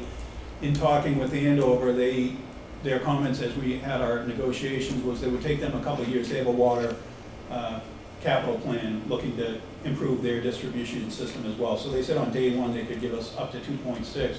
It would take them those five years or so to develop to be able to give us that higher level of, uh, of water use. Um, As I did mention, that the water use last summer, the peak days were much higher than we historically see. We were typically in the 2.3 to 2, 2.2 to 2.3 million gallons a day. We were up to 2.7 million gallons a day one day last year. So that, and I know it doesn't sound like a lot, but a, a jump of that level for any water supplier is just huge, where you're going from, you're thinking your max day is 2.3 million gallons a day, and all of a sudden it's, you know, it's bumped up to that level. Uh, And talking to other water suppliers, it was a fairly common occurrence last year, but uh, kind of stressful nonetheless. I mean, if we, I'm sorry, if we have that contract to have up to two point six till twenty twenty-five, and we struck it, and I know Mr. O'Leary worked hard on that, um, I was along with Mr. But- Clark. well, everybody, A whole but bunch of my, people. my thing is that if we have that agreement, is it really our problem? They gotta come up with at least two point six, correct? So if we, if we're under 2.6, that's fine. We Okay, so sell that. meaning when you say the supplier is stressed though, I mean, if Andover came and said, hey, you guys are coming in at two point three, can you do us a favor? We, okay. We'd say, no, we have a contract, you have to deliver us 2.6. Thank you. And Mr. Waller? Just one question. Um, On one of the slides, you showed that the water department budget was like 4.5 million, 4.8 projected. Um, But we had uncollected of like 366,000, 430,000. Is that just a constant every month? We always have that outstanding? Uh, It's not every month, but it's year to year. So if you look at it, that percentage collected in that, the the right-hand column for the two years, in the months we issue a bill, it jumps through the roof. Like we bill in August, bill's not due to September, so there's a ton of uncollected at the end of August. Most of that comes in in early September. But really looking at the, the bottom line, year to year, it's, it's been 9, 10, 10.5%. And it's generally the same, same accounts have the, uh, the uncollected at the end of the So. I mean, did we just lose that money or? No, so it go, what will Okay, that- happen I is guess if, that's my point. if it's not collected, we send demand notices, we send out lien notices, and then we actually lien the money. So it'll come off the water department, it'll go to the, in November, typically it goes to the real estate, and it'll show up on your January real estate bill. So if you pay your January real estate bill and you have any liens owed to the town, the first money that comes off that goes to pay those liens before it pays your taxes. So we do, historically, we'll collect the FY twenty uncollected money in FY twenty-one. So it becomes an FY twenty-one inc revenue, but then at the end of FY twenty-one, if you, if it's your first year in existence, it's a problem because you didn't collect nine percent. Then it becomes kind of a roll through year to year. In a year like this, because we sold so much more, it's a high, a much higher number than last year, just because the entire billing was higher than last year. But, Gotcha. uh, Yeah, okay, so we're not leaving it behind, it's just a year to catch up. correct. Thank you. Any other questions? Just, uh, Mr. Mark, in O'Leary? relation, um, in relation to the water meter installation, working like a charm now, but in, So as, I'll, I'll take my hit right here, as the stick in the mud for the, uh, the water meter, I was the one that said we should just go with a drive-by system. What are we gonna do with all that data that we get? It's the best thing I ever saw. I, I hate this, you know, pe- people laugh at me because this is the most exciting thing in my life, but, uh, you know, getting that hourly data, it's just, it's so much easier to, to explain to people where their water went. I've had people come to the office yelling at me, show them the graph, show them the charts, and they're like, oh, I should go yell at my husband and stop yelling at you, and it's like, yep, that's what you should do. It's- But I mean, it's just, it's an incredible system. As far as the uh, accuracy uh, of the system, So we're Did we still, see- I did mean, we we're see- still working do with we some. see some- significant changes though from when we switched out the old meters to the new meters as far as the accuracy of the readings and people being billed and So we don't see a huge jump in the winter, well, the winter time's really when you would look, I mean, and it, we don't know what's going on in an individual house, if your kid went off to college and now he's home, or, or vice versa. It's hard to say, um, the summertime is just so, year to year, so much different, it's hard to say just how much, but, uh, yeah, I would say, I mean, we're, we've looked at it a couple times and we're getting definitely more revenue through it. Um, it- This is, I mean, here's a, here's a year where you can see, even in the winter time, our, our, uh, February billing went from six hundred ninety-three thousand last year to eight hundred sixteen thousand this year. Again, it's, we gotta relate some of that to COVID, because that's, you know, hundred thousand dollars on a six hundred thousand or seven hundred thousand dollar water billing in February is a huge number. A lot of factors go into it. I wish I could, you know, I know engineers like to come out and sell you something cut and dry, but there are, there's, there's always a, a ton of things going on. But we had a lot of old meters in homes, Yep. you know, so now, because Yeah, we, far were- more I. I gotta say, we were, and this predates me, so I'm not gonna take any credit for it, but, you know, we did buy a very good quality meter, the prior meters we had, we have very good quality meters now as well. Um, I would maybe just touch on the, the projects we're doing if you want, just, I'll give you a two-minute Sure. summary. So, as most of you have probably driven up and down North Street, you see all the bumps, so th- this half of North Street is done. They just today finished tying in the last piece of pipe on the other half of North Street. We still have to tie in all the services. I know Mr. Ragucci was just mentioning tonight that his water's lukewarm because you're getting those hoses that are sitting in the sun feeding some of those houses.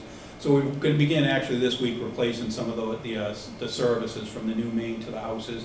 That should finish up this end of the project. They're getting ready to start with a temporary water main installation over on Mount Vernon Street. So once the contract is done here, they're gonna jump over to Mount Vernon Street.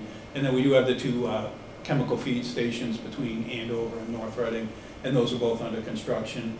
The projected completion date for those is sometime around December. Um, The contract actually allows till about mid-April of next year, so uh, we're hoping this contractor will stay ahead of that, and we'll be done with those as well by uh, the end of this year. And then the other expansion, as far as, we don't know yet about Main Street, north of North Street yet. Yeah, so we're, we're working on that, we're talking with our consultant to design that. Um, There was talk about putting it out this year, but I think we'll put it out for construction this, you know, spring next year.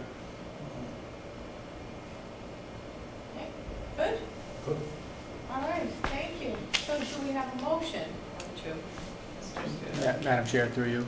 Oh, Mr. Gilleberto. I, I do apologize, but where this is uh, a hearing, I don't, I I don't see anybody who's Oh, asking to be sorry. recognized. Yes, I'm sorry. Do we have anyone that wishes to be heard? You may want to take, uh, the water commission may make, want to make a recommendation. Mr. Gucci's, I believe, on the Zoom. Oh, my Okay. word, that's why he's waiting. I can't see. so Sure, that he is there. That's why yes. he's been sitting here waiting. Vin, can you hear us? Yeah, can you hear me? Yeah. Loud and clear. Loud and clear. Okay, it's, it's a little tough to listen um, on, on the Zoom, but um, I've been trying to bear with it. Um, We, we had a scheduled meeting earlier tonight, and over the past week, uh, we've been exchanging uh, notes with, with Mark um, and, and team on uh, the recommendations.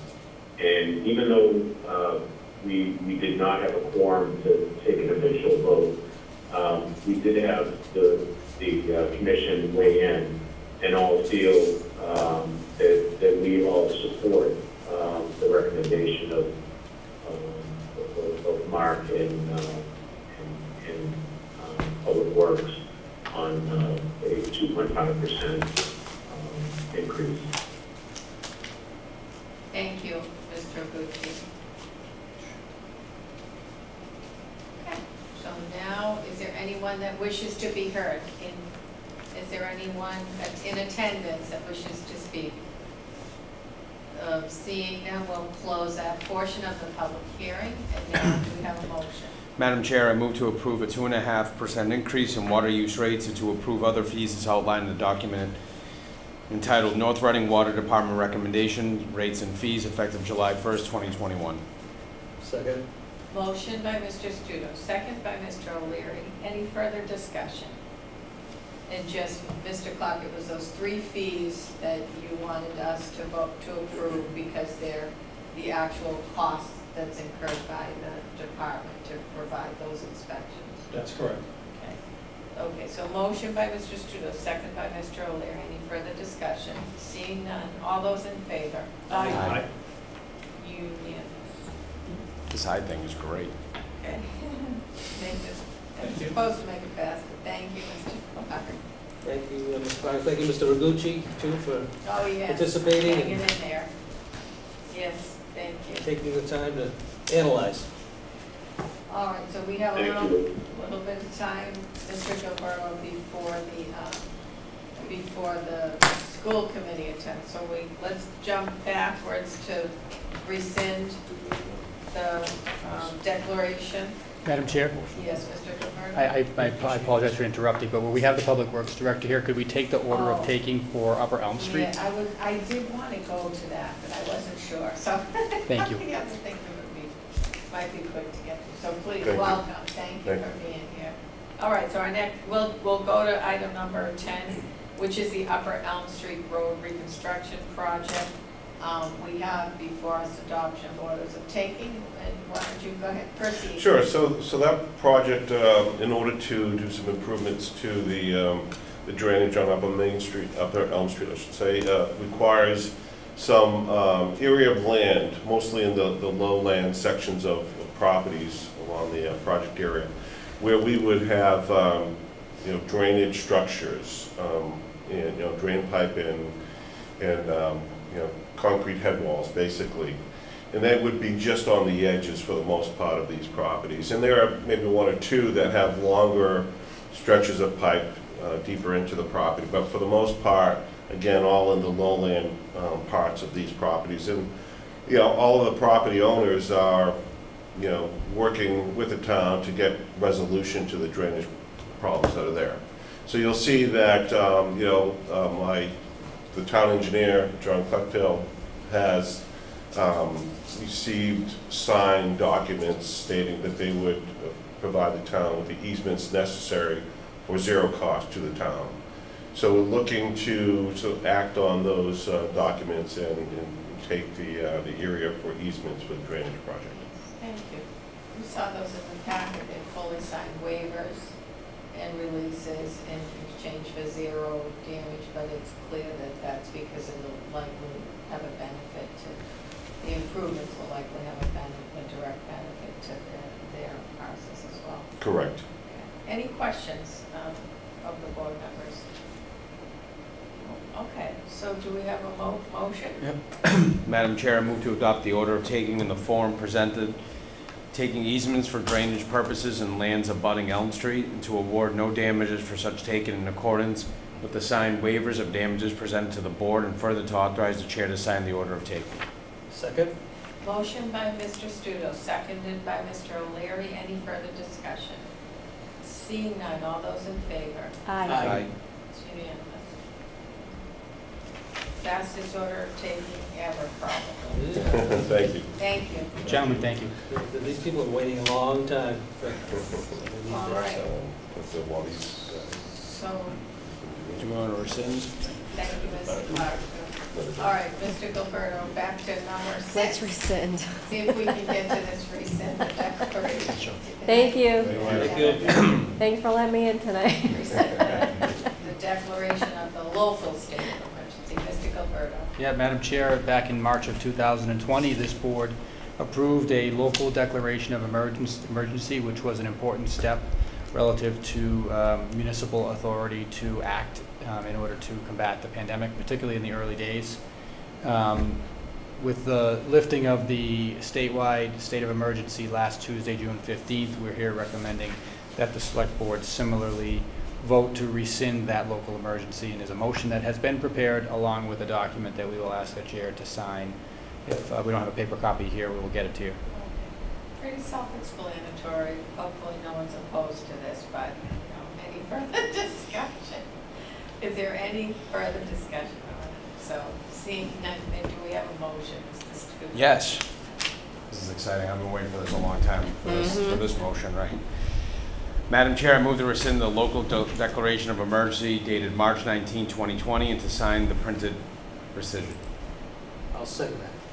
Motion by Mr. Stuto, second by Mr. O'Leary. Any further discussion? Just other than, again, for all the department heads, administration, um, Board of Health in particular, I mean, they were meeting again tonight to, uh, to vote to uh, rescind their previous orders too. So a, lot of people have put a significant amount of uh, time, energy, effort, above and beyond the call of duty, obviously, uh, over the last, uh, how many months now?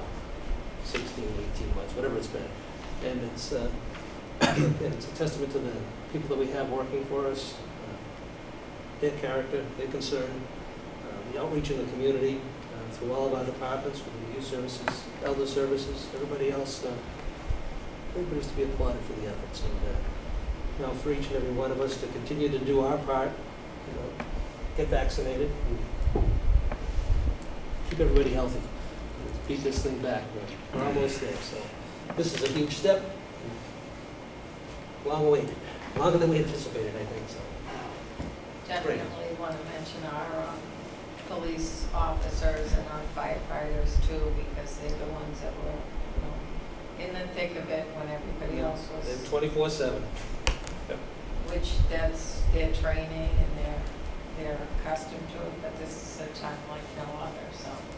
In addition to all of the other people that you mentioned, and also thanking you for your service as the liaison with the Board of Health, which probably this wasn't. I think I've had more meetings with the Board of Health in the last several months than I have in thirty years, you know, so. But again, So, it's a yeah. pleasure working with them and Yeah. hopefully, again, uh, I told them every meeting that how much we appreciated what they were doing and, um, and uh, they appreciated our support and helping facilitate whatever action they had to take and and the support that the board showed, they appreciated too, so. the direction everybody had to pivot in and uh, um, deal with this was tremendous. School department, superintendent, the direction that everybody had to pivot for us for different types of meetings. Uh, you We can't really thank people enough for, for their service and their dedication, so. But, so we have a motion, so let's. move We on. already said the motion, now we just have to Already vote. This was discussion. Motion, discussion, motion and second, and any further discussion? All those in favor? Aye. Unanimous. Which actually is a good segue to liaison assignments. Yeah. See, and I, I just wanted, to I asked Mr. Gilleberto to put this on the agenda because I did not plan to modify the liaison assignments. I was wanting to keep them as they were, so I just wanted to alert the members. I'll do an update for the, for the, um, the website. I think we annually update it, but I was um, hoping everyone would just stay put and continue the service in the roles that they're already assigned to. And I'll circulate a revised for, for this coming year, like we typically do. Um, and then DE, is the, is the order taking in there already assigned? No, All the order taken wasn't there, unless I'm Because it needs to be notarized. Oh, oh, I see. Okay. All right, Is for all Uh, so next No, order. it's not, right, we authorized for we Still have might be time. able- We might be able to get through a lot of this, and our next Yeah. order of business are legal bills. Yes. Um, okay. Madam Chair, I move to approve legal bills for January 2020 in the amount of $17,499.39 as follows. Copeland and Page, $6,052.39. Is it Copeland and Page? Uh, PC 5752, is there a typo in one of them? I just want to is, is there an L or not? I just want to, Oh, just Copeland? are they separate? Yeah, or the, the, it- no, the L is missing. but The they are L is separate missing, bills. Yeah, oh, two it's separate bills, Yeah. okay. 20 Elm Street, 40B project, 294450, arbitrator Richard Mullen J, 2750, for a total of 17499 Second? Motion by Mr. Stuto, second by Mr. O'Leary. Any further discussion? Madam Chair. Mr. The bearer of bad news. We are on track to exceed the appropriation for the legal services budget for the fiscal year. Had a pretty steep bill um, that's in there. I think the May bill is the one that's the larger of the two associated with town meeting. Um, And just to remind folks, we had a number of factors that, that went into this, um, including a number of matters that are labor-related involving ongoing um, negotiations as well as a number of matters pending before third parties that required an effort on our part.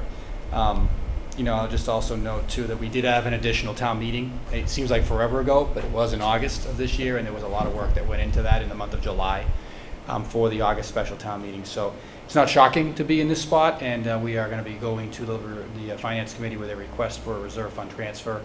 Um, We are projecting that the deficit is about $16,000. We're going to ask for $18,000 in order to make sure that we're clear to proceed, but um, we're hoping to receive a favorable response at their meeting, which I believe is Wednesday evening. Thank you, Madam Chair. Thank you, Mr. Any questions? Mr. O'Leary? Just in relation to that, I mean, some of these costs are definitely associated with the pandemic. Have those been factored into the reimbursement levels that we've been seeking? So we believe that most have. We really had a high amount of cost in the first three months of the pandemic. That's where a lot of the effort went into. And it really, it didn't go away totally, but it really thinned out, you know, through the course of this fiscal year. The finance director and I will go through things, and I know she's in conversations with our auditor as well with regard to those costs, just to make sure we've captured everything that we can. Um, But, um, you know, looking at it, we had a really intensive effort that was related to that, was really on the front end. There's some work that was done in January as we got ready for the clinics. I think you may have been involved in some of those conversations, Mr. O'Leary. But I, I don't think it's gonna be a huge number, but we'll make sure they're all captured. Thank you. Any further questions? Seeing none. Motion by Mr. Stuto, seconded by Mr. O'Leary. All those in favor? Aye. Aye. Unanimous. Madam Chair, I move to approve invoice number 11413 in the amount of $87,649.95 to Furman Gregory Datula for legal services for the secondary school building project litigation. Second? Motion by Mr. Stuto, second by Mr. O'Leary. Any further discussion? Seeing none. All those in favor? Aye. Unanimous. Is that it for legal bills, Mr. Stuto? Yes. Our next order of business is to set our future board meeting schedule, and I also want the board to, um, I'd, I'd like to lock us into, um, you know, for the third time's a charm, a strategic planning meeting, so that, so we can Virtually, focus on that as well as a, a summertime schedule. Um, That would be great. Madam Chair, I think we already had, it. yeah, Twelve? we had July, but that's it, yeah. Oh, I believe we have July 12th, yes, Yeah. through you, Madam Okay. Chair. We, uh, we looked at the calendar, we being um, Karen and I, and identified the weeks of, we- we identified July 12th, and then based on the way the calendar was falling, we're suggesting August 2nd and 23rd. Um, August 2nd is good, August 23rd, I'm on vacation. So, Madam Chair, through you, uh, a a fallback um, could be to push to, make sure I get this right, August, to push back to August, push up to August 16th. That will be the date that warrant articles are due for the October town meeting, coincidentally. They're due at 4 o'clock PM in in the, uh, in the town hall here. I recognize that'll be, it'll be two weeks after the, obviously two weeks after the second. Okay, so we have, we're, again, we're scheduled for July twelfth. And then, uh, you're, you're, we can't meet on the second.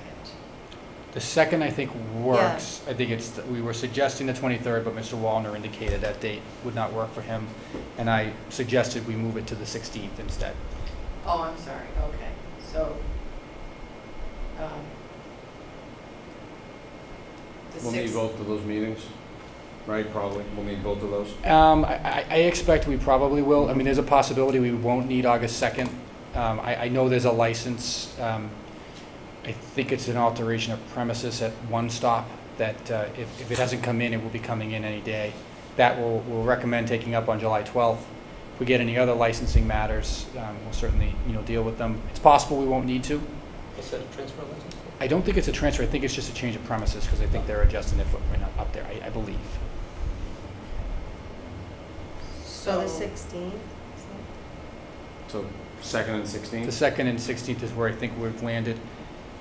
I won't be available for the second, but we're running into timeframes that one or the other of us may not be available. I, I won't be available on the second, for sure, but you can still hold without me. Another alternative through you, Madam Chair, would be to, so do July 12th and July 26th, and then August 16th. And was someone, was there an issue with July twenty-sixth with one of the members? No, didn't come up. Yet, I mean, I don't know yet. yes. I don't know anything. I'm not in charge of my social calendar, or actually much of my calendar at all. And the I need usually to. get told when to be, where I'm supposed to be. So we, we, we have gone down to one meeting a month in the summertime. Is there a necessity for us to have the two meetings in July? Not to my knowledge, Madam Chair. So can we at least, I mean, and that might help for us to pinpoint Sure. better for the board. I know we're running up against the schedule in terms of the articles and things like that, so. Could just go with August, to July 12th and August 16th, if that No. Okay. works for everybody. That works? Yep. Does And that then- work for everybody? All right. And Madam Chair, through you, we were o- originally recommending the next meeting after that being Tuesday, September 7th, which is the Tuesday immediately after Labor Day, because we're not able to meet on Labor, the Labor Day holiday.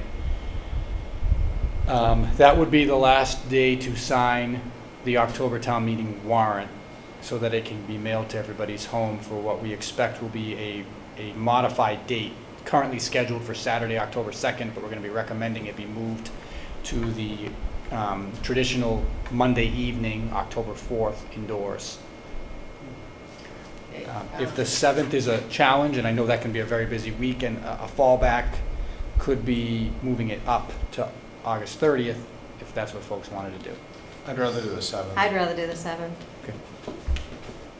I won't be here for the seventh, because I have a work, I have work commitment on Tuesdays, so I will not. Oh, that's right. That's why we don't traditionally meet. Um, and also, we don't, you know, we can move the meeting around to any days, but I think, it- so we're needing to meet twice then, for purposes of signing. We're needing to meet twice in, in August for purposes of signing. N- No, the warrant, the warrant could actually be signed, I, I was suggesting Tuesday, September 7th, but if a better night would be the Wednesday, I think we could go with that night and still be okay to get it to the printer, if the members were available. I can do any night that week, Wednesday will work. Wednesday the 8th?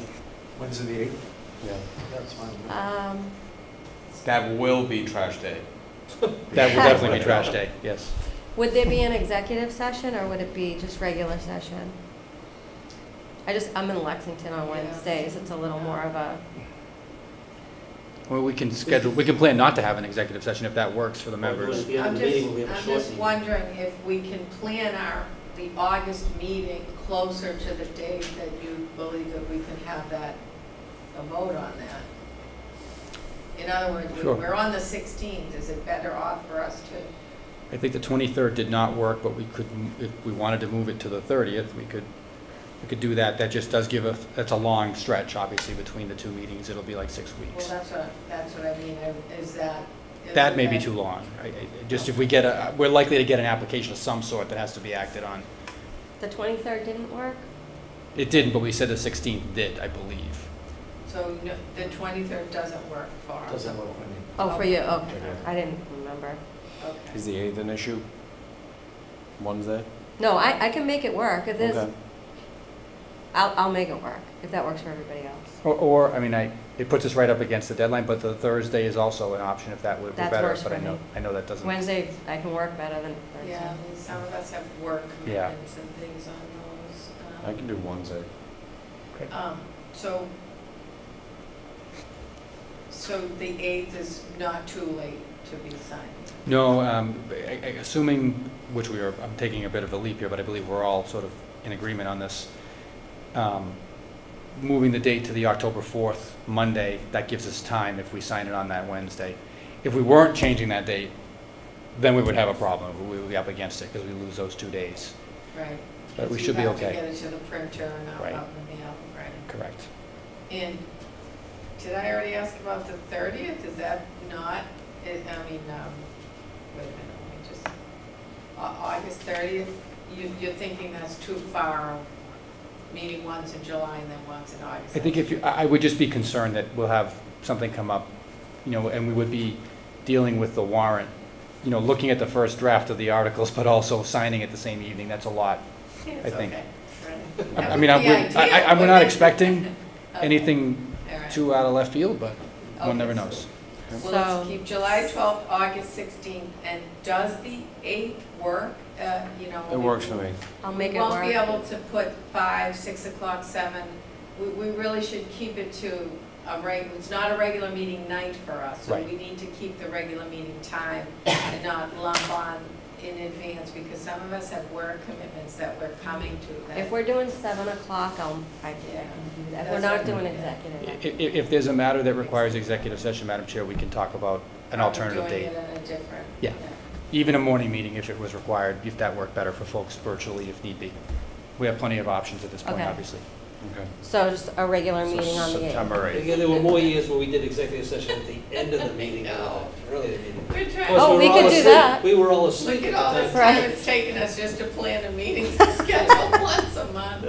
All right, okay, so then September, we re- will resume back to our regular, twice. So would the next one be the twentieth? If we Yes, resume um, two Matt- weeks? Sorry. Madam Chair, through you to the board, we had suggested September 7th, which became September 8th. The customary s- meeting schedule date would call for the next meeting to be September 20th, which is a Monday evening. Okay. Then, so that would also be the warrant article hearing for the October town meeting. Town meeting would occur on Monday, October 4th, um, and we would presumably meet for town meeting purposes that evening, with a regular meeting on Monday, August, uh, October 18th to follow. That's the third Monday. Okay, And then, um, I know it's far out, but we looked at November 1st and 22nd. Those are also the first and four- fourth, first and fourth. Is that right? First and fourth. September, once again, the. But I- September uh, 8th and September 20th, Oh. then October 4th for town meeting and October 18th. And then we were suggesting, just going right through the year, November 1st Yep. and 22nd. Um, I realize that's a three-week gap in November, and the reason for that is we we we generally are not quite ready for tax classification on November 15th, but waiting the following week to the 22nd will get us right before Thanksgiving.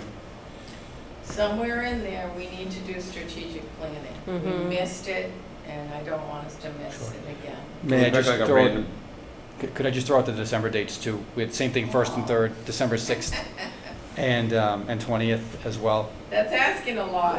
No, that. just for everyone's calendars. And then, yeah, Uh, So absolutely, twelve six and twelve, twelve twenty. yes. And no So matter, it's July twelfth, August sixteenth, September eighth, September twentieth, October fourth, October eighteenth, November first, November twenty-second, December sixth, and December twentieth. yes, Madam Chair. We need a strategic planning meeting somewhere else in the near future because we're, we're needing to get back to that planning as a board for the town. Madam Chair, through you, in just in, kind of in accordance with what we've customarily done, my suggestion is that we do a, a single planning meeting, and that if the board members are, are amenable to it, maybe pick the Monday or the Wednesday of the week in September between the two regular meetings. So that would be the week of the 13th. I put that out as a starting date because we've customarily done it in the fall, and I think we've actually done it that week. I, um, as I've mentioned before. So that would be the week of September, excuse me, I just, I'm I'm on my phone here unfortunately, September 13th. And I just threw out September 13th or 15th as possible dates if they worked. Um, Yom Kippur is on the fifteenth. Thank you, I didn't, I did not realize that. On the 13th or 15th? Thirteenth, Thirteenth, okay. fifteenth. The 15th would certainly work for me. Thirteenth works. I can do the thirteenth. That's Monday, right? You, you said the 13th is the holiday or the 15th? No, No, 15th. no, The 15th. Thirteenth is open. Okay, thank you. Yom Kippur is on. This- I'm sorry, so the 13th. I know this is far in advance, but does the thirteenth work for everyone? Yeah. I mean, and if, I know it's hard to say yes at this point, but if there's something that comes up, then we would maybe just need to address it and And that would be a night meeting, like a, like a regular meeting? Uh, My recommendation would be uh, an evening meeting starting at probably 6:30 in the police department training room. It's a different venue than, than in here. Um, We have plenty of room to spread out. We don't expect a large crowd for it. And uh, we would provide dinner for the members as well. Be an extra nice I dinner. think that's an enticement to go. Extra nice, is that An what you extra said? nice dinner because we missed a dinner. So How's that? DoorDash. Appetizers, too. I'll send you some suggestions. All right, um, do- so we'll, so that's our, that's great. Great, thank you to the members. Thank you. All right, excuse me. Bless you. That's All right, it, bless you. that's, that's far in advance, and obviously, there's some flexibility in order for not knowing, not knowing everything that's going on with our schedule at the Okay. moment, but. Alright. All right, so now our, our next, do we have the school committee ready? Uh, I'm waiting to hear from them. I know they were expecting to be ready just about this time, and I've let them know that we're ready for them at any moment. So let's move on to minutes if we Minutes. can while we Oh, we both can have blast through maybe these. thirty Mhm. seconds. Madam Chair, I move to approve the April 26, 2021 regular session minutes as written. Second? Motion by Mr. Stuto, second by Mr. O'Leary. Any further discussion? Seeing none, all those in favor? Aye. Aye. Unanimous. Madam Chair, I move to approve the April 26, 2021 executive session minutes as written. Second? Motion by Mr. Stuto, second by Mr. O'Leary. Any further discussion? Seeing none, all those in favor? Aye. Unanimous. Madam Chair, I move to approve the May 5, 2021 regular session minutes as written. Second? Motion by Mr. Stuto, second by Mr. O'Leary. Any further discussion? Seeing none, all those in favor? Aye. Unanimous. Madam Chair, I move to approve the May 10, 2021 regular session minutes as written. Second? Motion by Mr. Studo, second by Mr. O'Leary. Any further discussion? Seeing none, all those in favor? Aye. Madam Chair, I move to approve the May 10, 2021 executive session minutes as written. Second? Motion by Mr. Stuto, second by Mr. O'Leary. Any further discussion? Seeing none, all those in favor? Aye. Aye. Unanimous. Madam Chair, I move to approve the May 24, 2021 regular session minutes as written. Second? Motion by Mr. Stuto, second by Mr. O'Leary. Any further discussion? Seeing none, all those in favor? Aye. Unanimous. Madam Chair, I move to approve the May 24, 2021 executive session minutes as written. Second? Motion by Mr. Stuto, second by Mr. O'Leary. Any further discussion? Seeing none, all those in favor? Aye. Madam Chair, I move to approve the June 5th, 2021 regular session minutes as written.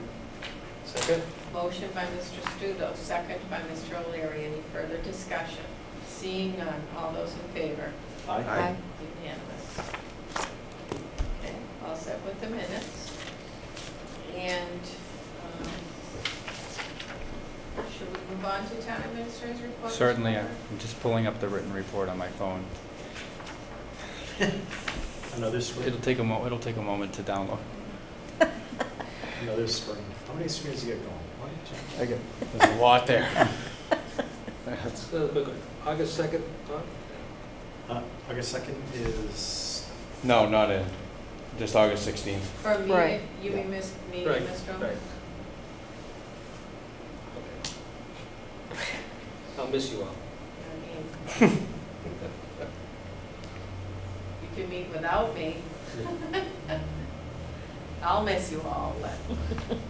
Send us a postcard.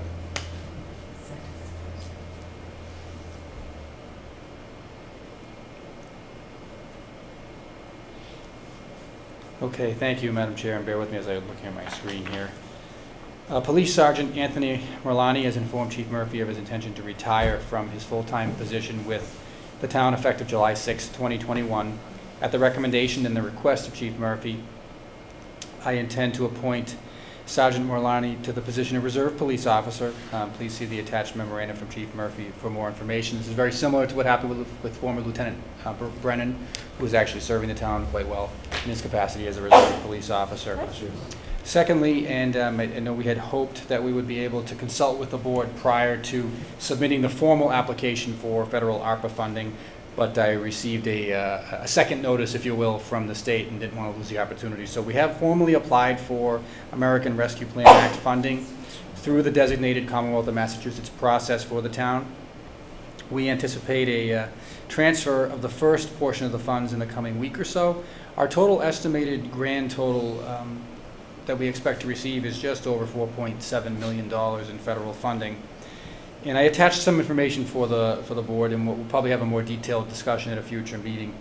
But um, there's some pretty good guidance that's come out from the Mass Municipal Association, and I know you get all of their emails from it, as well as some information came out as recently as today from the Treasury regarding the use.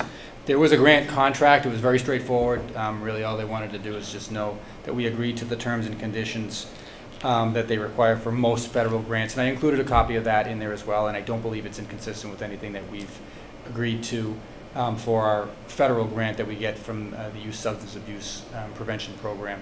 So um, it's in the works, and we're expecting to get a transfer through the normal transfer process that our local aid comes to, and um, expect that that will happen in the coming week or so. Um, And my final note, um, and she was not able to be here this evening, but we do have a new recording secretary, secretary, as the board members know. Her name is Jennifer McNeil. She is uh, a longtime, if not lifelong, resident of North Reading.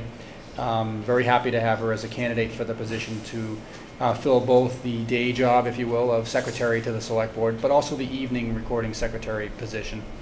Um, She had a scheduled vacation um, at- during this week, and um, although she asked to be able to participate virtually, um, she, uh, I I declined to accept the offer. And uh, she's enjoying her vacation, although she may actually be watching us uh, this evening, and uh, she will catch up on the minutes um, upon uh, her return. Um, And as you saw, just from the minutes you went through, she, there were a number that she was involved in going through. We made quite a bit of headway in recent weeks on those minutes, and I- that is a credit to to Jen, and we're happy to have her with us here in, uh, in Town Hall. Um, And that concludes my report, and I've also gotten a note that the school committee will be with us uh, momentarily. Bathroom break? So not done yet, but recessing, be there in five. So if you want to start board member reports, certainly. Yeah, that sounds great. You- you- it's all right. Go, go, go, go, go. Uh, Well, let's do old and new Well, first, I'd just like to comment on, on Oh, the I'm announced sorry. retirement yes. of uh, Tony Forgot, Mal- Tony yes. Malani. I mean, uh, again, born and raised in North Reading and uh, uh, twenty years, twenty, something like At least, yeah. yeah, maybe 30 years uh, service to the uh, North Reading Police Department. Uh, Terrific member of uh, the community, and been very active, uh, and uh, done an outstanding job, been promoted again during his career here. Uh, Very devoted, and and wish wish him nothing but uh, good health and long, happy, and healthy retirement. Uh, Grateful that he's willing to serve on the reserve force, because that's uh, certainly needed. He has a hard time filling all the shifts and the uh, details too, but terrific fellow, nice family, and uh, I'm happy for him. And, uh, Great. All right. good. Yes. All right, and any other comments on, on Mr. Gilleberto's report? So we all set, so you wanna kick off board member requests first? Um, Again, Anything the- old and new and board member requests? Yeah, Mr. we we covered all, I guess. Uh, Very briefly, again, Board of Health met this evening, and they were, uh, again, looking to rescind their, uh, their previous orders, which again is a a wonderful thing. Uh, But again, they're going to be ever vigilant, and again, we appreciate all their efforts and time uh, during the past several months in addressing the needs of the community. Uh, Hillview, again, uh, the town administrator can give us a better idea as far as the dates, but uh, again, request for proposals for the use of the facility uh, will be, if they have not already been put out. Uh, That- That's correct. I believe they're going in the newspaper Thursday and will be available at the end of this week. Yeah, so again, uh, there was some interest in uh, the first outreach that they made, but it wasn't, uh, and again, it was just for the pub, appears though there was more interest in the pub and the functional facility, surprisingly enough. That's good. um, which is a good thing. And, um, you know, hopefully uh, that can be, uh, come to fruition, something comes of it. Because again, as you recall, at the town meeting, from the revenue forecast, while golf was up, uh, revenues to support the uh, cost of the facility itself were down significantly because we were unable to collect the rents and uh, and the license agreement uh, early. And so the cost associated with maintaining the facility falls directly on the Henry without the revenue stream. So as soon as we get that up and going again, all the better for, uh, the enterprise.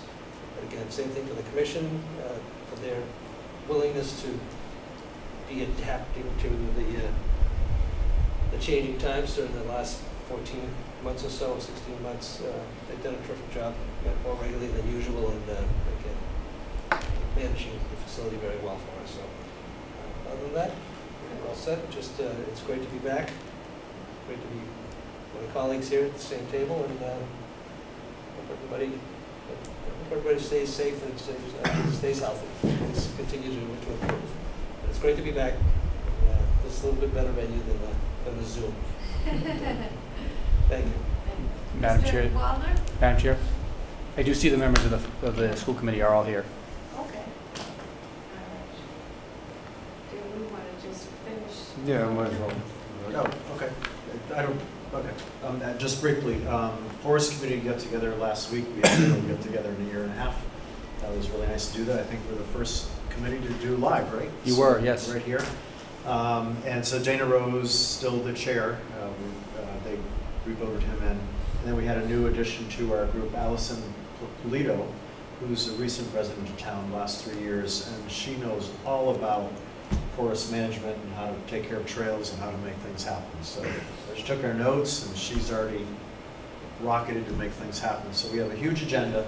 We're looking forward to making the Swan Pond area really accessible and known and available to everybody in town, which is kind of exciting to be able to do. Um, Pond Committee met with um, the Conservation Commission to make sure that, uh, that they were okay with the, um, the chemical treatments we're in making with the pond. They did have two hearings on that. On the last one, Conservation Committee approved that. We're already doing the survey on the pond, and I have to say, the pond has never looked more choked than it does right now. So I see it every day, so it can't come a moment too soon. So they're, they're going as fast as they can to make that happen. Um, and I think that's enough. Thank you.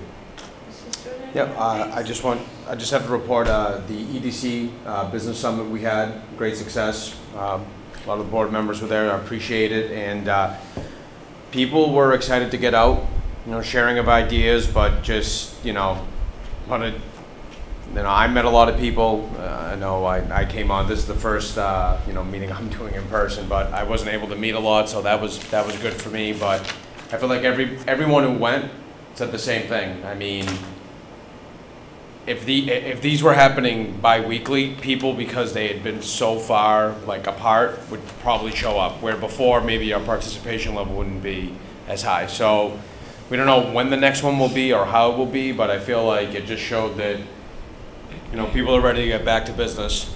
And, um, you know, we're at a place now where I feel like, I mean, personally, I feel like the comfort level for people is sky high based on what I've seen anyways, where I've been.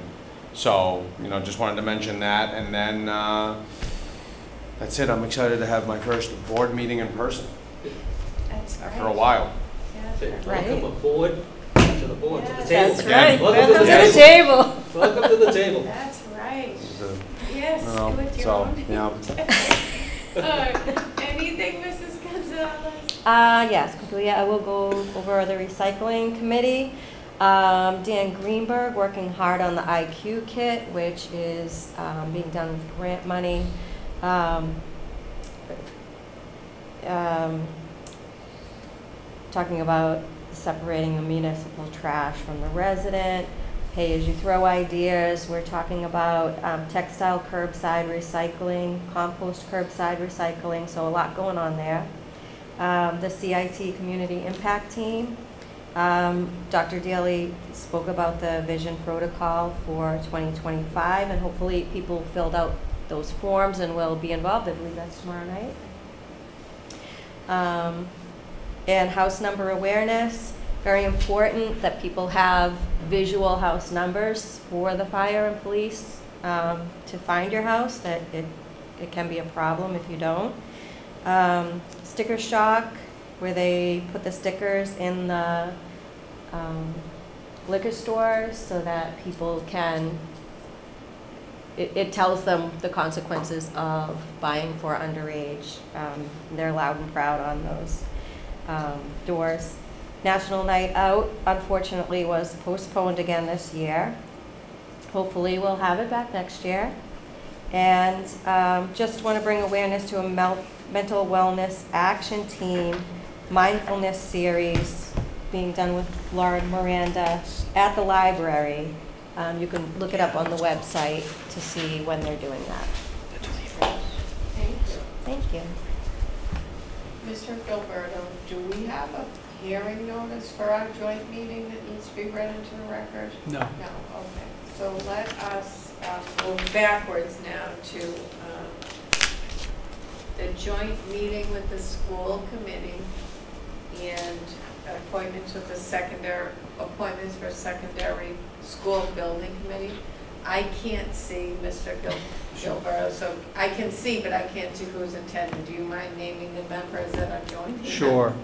Um, Through you, Madam Chair, uh, to Mr. Buckley, can you all hear us? We can hear you. You need a better phone. I heard about the bat phone over there. We have to get one to your standards. Um, wi- With Mr. Buckley is uh, Ms. Imbriano, uh, Ms. Boutwell, Mr. McGowan, and Mr. Papavasilio. Um, So it is all of the members of the school committee. And through you, Madam Chair, to the members of the school committee and the members of the select board, we, uh, the superintendent and I have been in some conversations, and we have prepared a motion for three appointments for the customary indefinite terms. Those appointments are to replace the, um, to to fill vacancies uh, created by the retirement of the superintendent of schools, the retirement of the school facilities uh, manager, and the retirement um, of a former school committee member, uh, Venezia. There is a motion that's been prepared for joint consideration.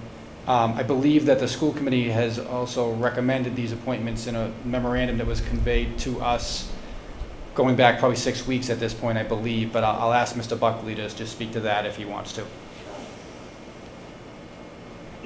Yeah, I mean, there's not much to say. I mean, Mr. Bernard has moved on to greener pastures, and Mr. Venezia has as well, and the facilities manager, and so since the SFPC is still up and running until everything is resolved, we need to have members on there, and so other members are willing to step up and take those positions.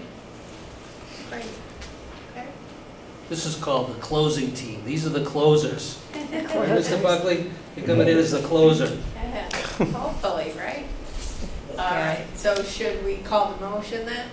Uh, Yes. There's no other, in- no, nothing further? All right, so Mr. Stuto. Madam Chair, I move to jointly appoint the following individuals as members of the Secondary School Committee. Dr. Patrick Daly, Andrew Campagna, Scott Buckley. Second? Motion by Mr. Stuto, second by Mr. O'Leary, and I'll call the roll for the select board. Mr. O'Leary? Okay, let me just see, who was it, the, uh, Oh. Dr. Buckley, Dr. Daly, Dr. Yes, Dr. Daly. Mr. Campagna. Andrew Mr. Campagna. Campagna, Scott Buckley. and, oh, and of course, Mr. Buckley. Mr. Wallner. Okay, I got two out of three. Scott Buckley, Dr. Daly, and who the Mr. Campagna. Mr. Campagna. Mr. Capani. Mr. Campagna. Mr. Everybody else. Stuto. He has it in front of him. Dr. uh, Dr. Daly, Andrew Campagna, and Scott Buckley. Ms. Gonzalez. Dr. Daly, Mr. Campagna, and Scott Buckley. And uh, Pelly, Dr. Daly, Mr. Buckley, and Mr. Campagna. And do, will the chair, Mr. Mr. Buckley, will you call the roll for the school committee? Yes, I can call the roll. So we need a roll call vote on who to appoint to SSBC. I'll start with Chris Papavasilio. You say the name, of the three names. Dr. Daly, Mr. Buckley, Mr. Campagna. Campagna. Stuck up now. Okay, Mr. McGowan. Dr. Daly, Mr. Buckley, Mr. Campagna. Mrs. Boutwell. Campagna. Mrs. Imbriano. Oh, Mr. Dr. Campagna. Daly, Scott Buckley, and Mr. Capone. And I vote for Dr. Daly, Mr. Buckley, and Mr. Campagna. Excellent, thank you. Madam Chair, through you to Mr. Buckley, um, or perhaps to the superintendent of schools, we will have uh, signed appointment slips, which I believe Mr. Stuto is signing right now. Um, They'll be available here in, uh, in my office, and the members can come grab them and uh, be sworn in in the town clerk's office.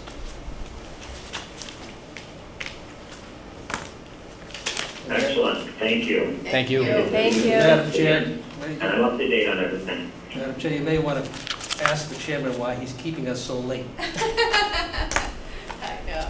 Well, we're, uh, we're keeping that, I think, at this point. Are you going back to reconvene, Mr. Chair? We do have to reconvene again, re- reconvene again, so. All right. What are you That guys talking school about? committee goes a Wow. long time. We We're have not very gonna long keep meetings. you, We're we ahead of Thank you. you for joining us, the wonders of modern technology and virtual meetings in, in operation. So hopefully you can wrap up soon. I have the motion. We, we will, we will plan to. Thank you very much. Thank you. I we'll be signing out. Okay, thank you, everybody. Thank you. It's a long meeting. Bye now. Yes, it is. What are they talking about? Now I'm curious. All right, any, and Mr. Gilleberto, Still have time anything to go down else? and We're find to- Um, Ma- Madam Chair, through you, Mr. O'Leary has reminded me that um, there is a a senior barbecue. It'll be an indoor barbecue over at Hillview that Mary is in the process of um, pulling, uh, pulling together. Uh, I believe she's gone through a registration process already, but folks can check with the Council on Aging to confirm. And I believe the date is June 24th for the uh, lunchtime barbecue, which is a great thing for us to be able to have. We have the facility that's available. Commission has graciously um, made the facility available despite the fact it does not have an operator right now. So we greatly uh, appreciate that. Great, that's great. And with that, we'll entertain a motion to adjourn. Madam Chair, I move to adjourn. Second that? Motion by Mr. Stuto, second by Mr. O'Leary. All those in favor? Aye. Aye. Unanimous. All right.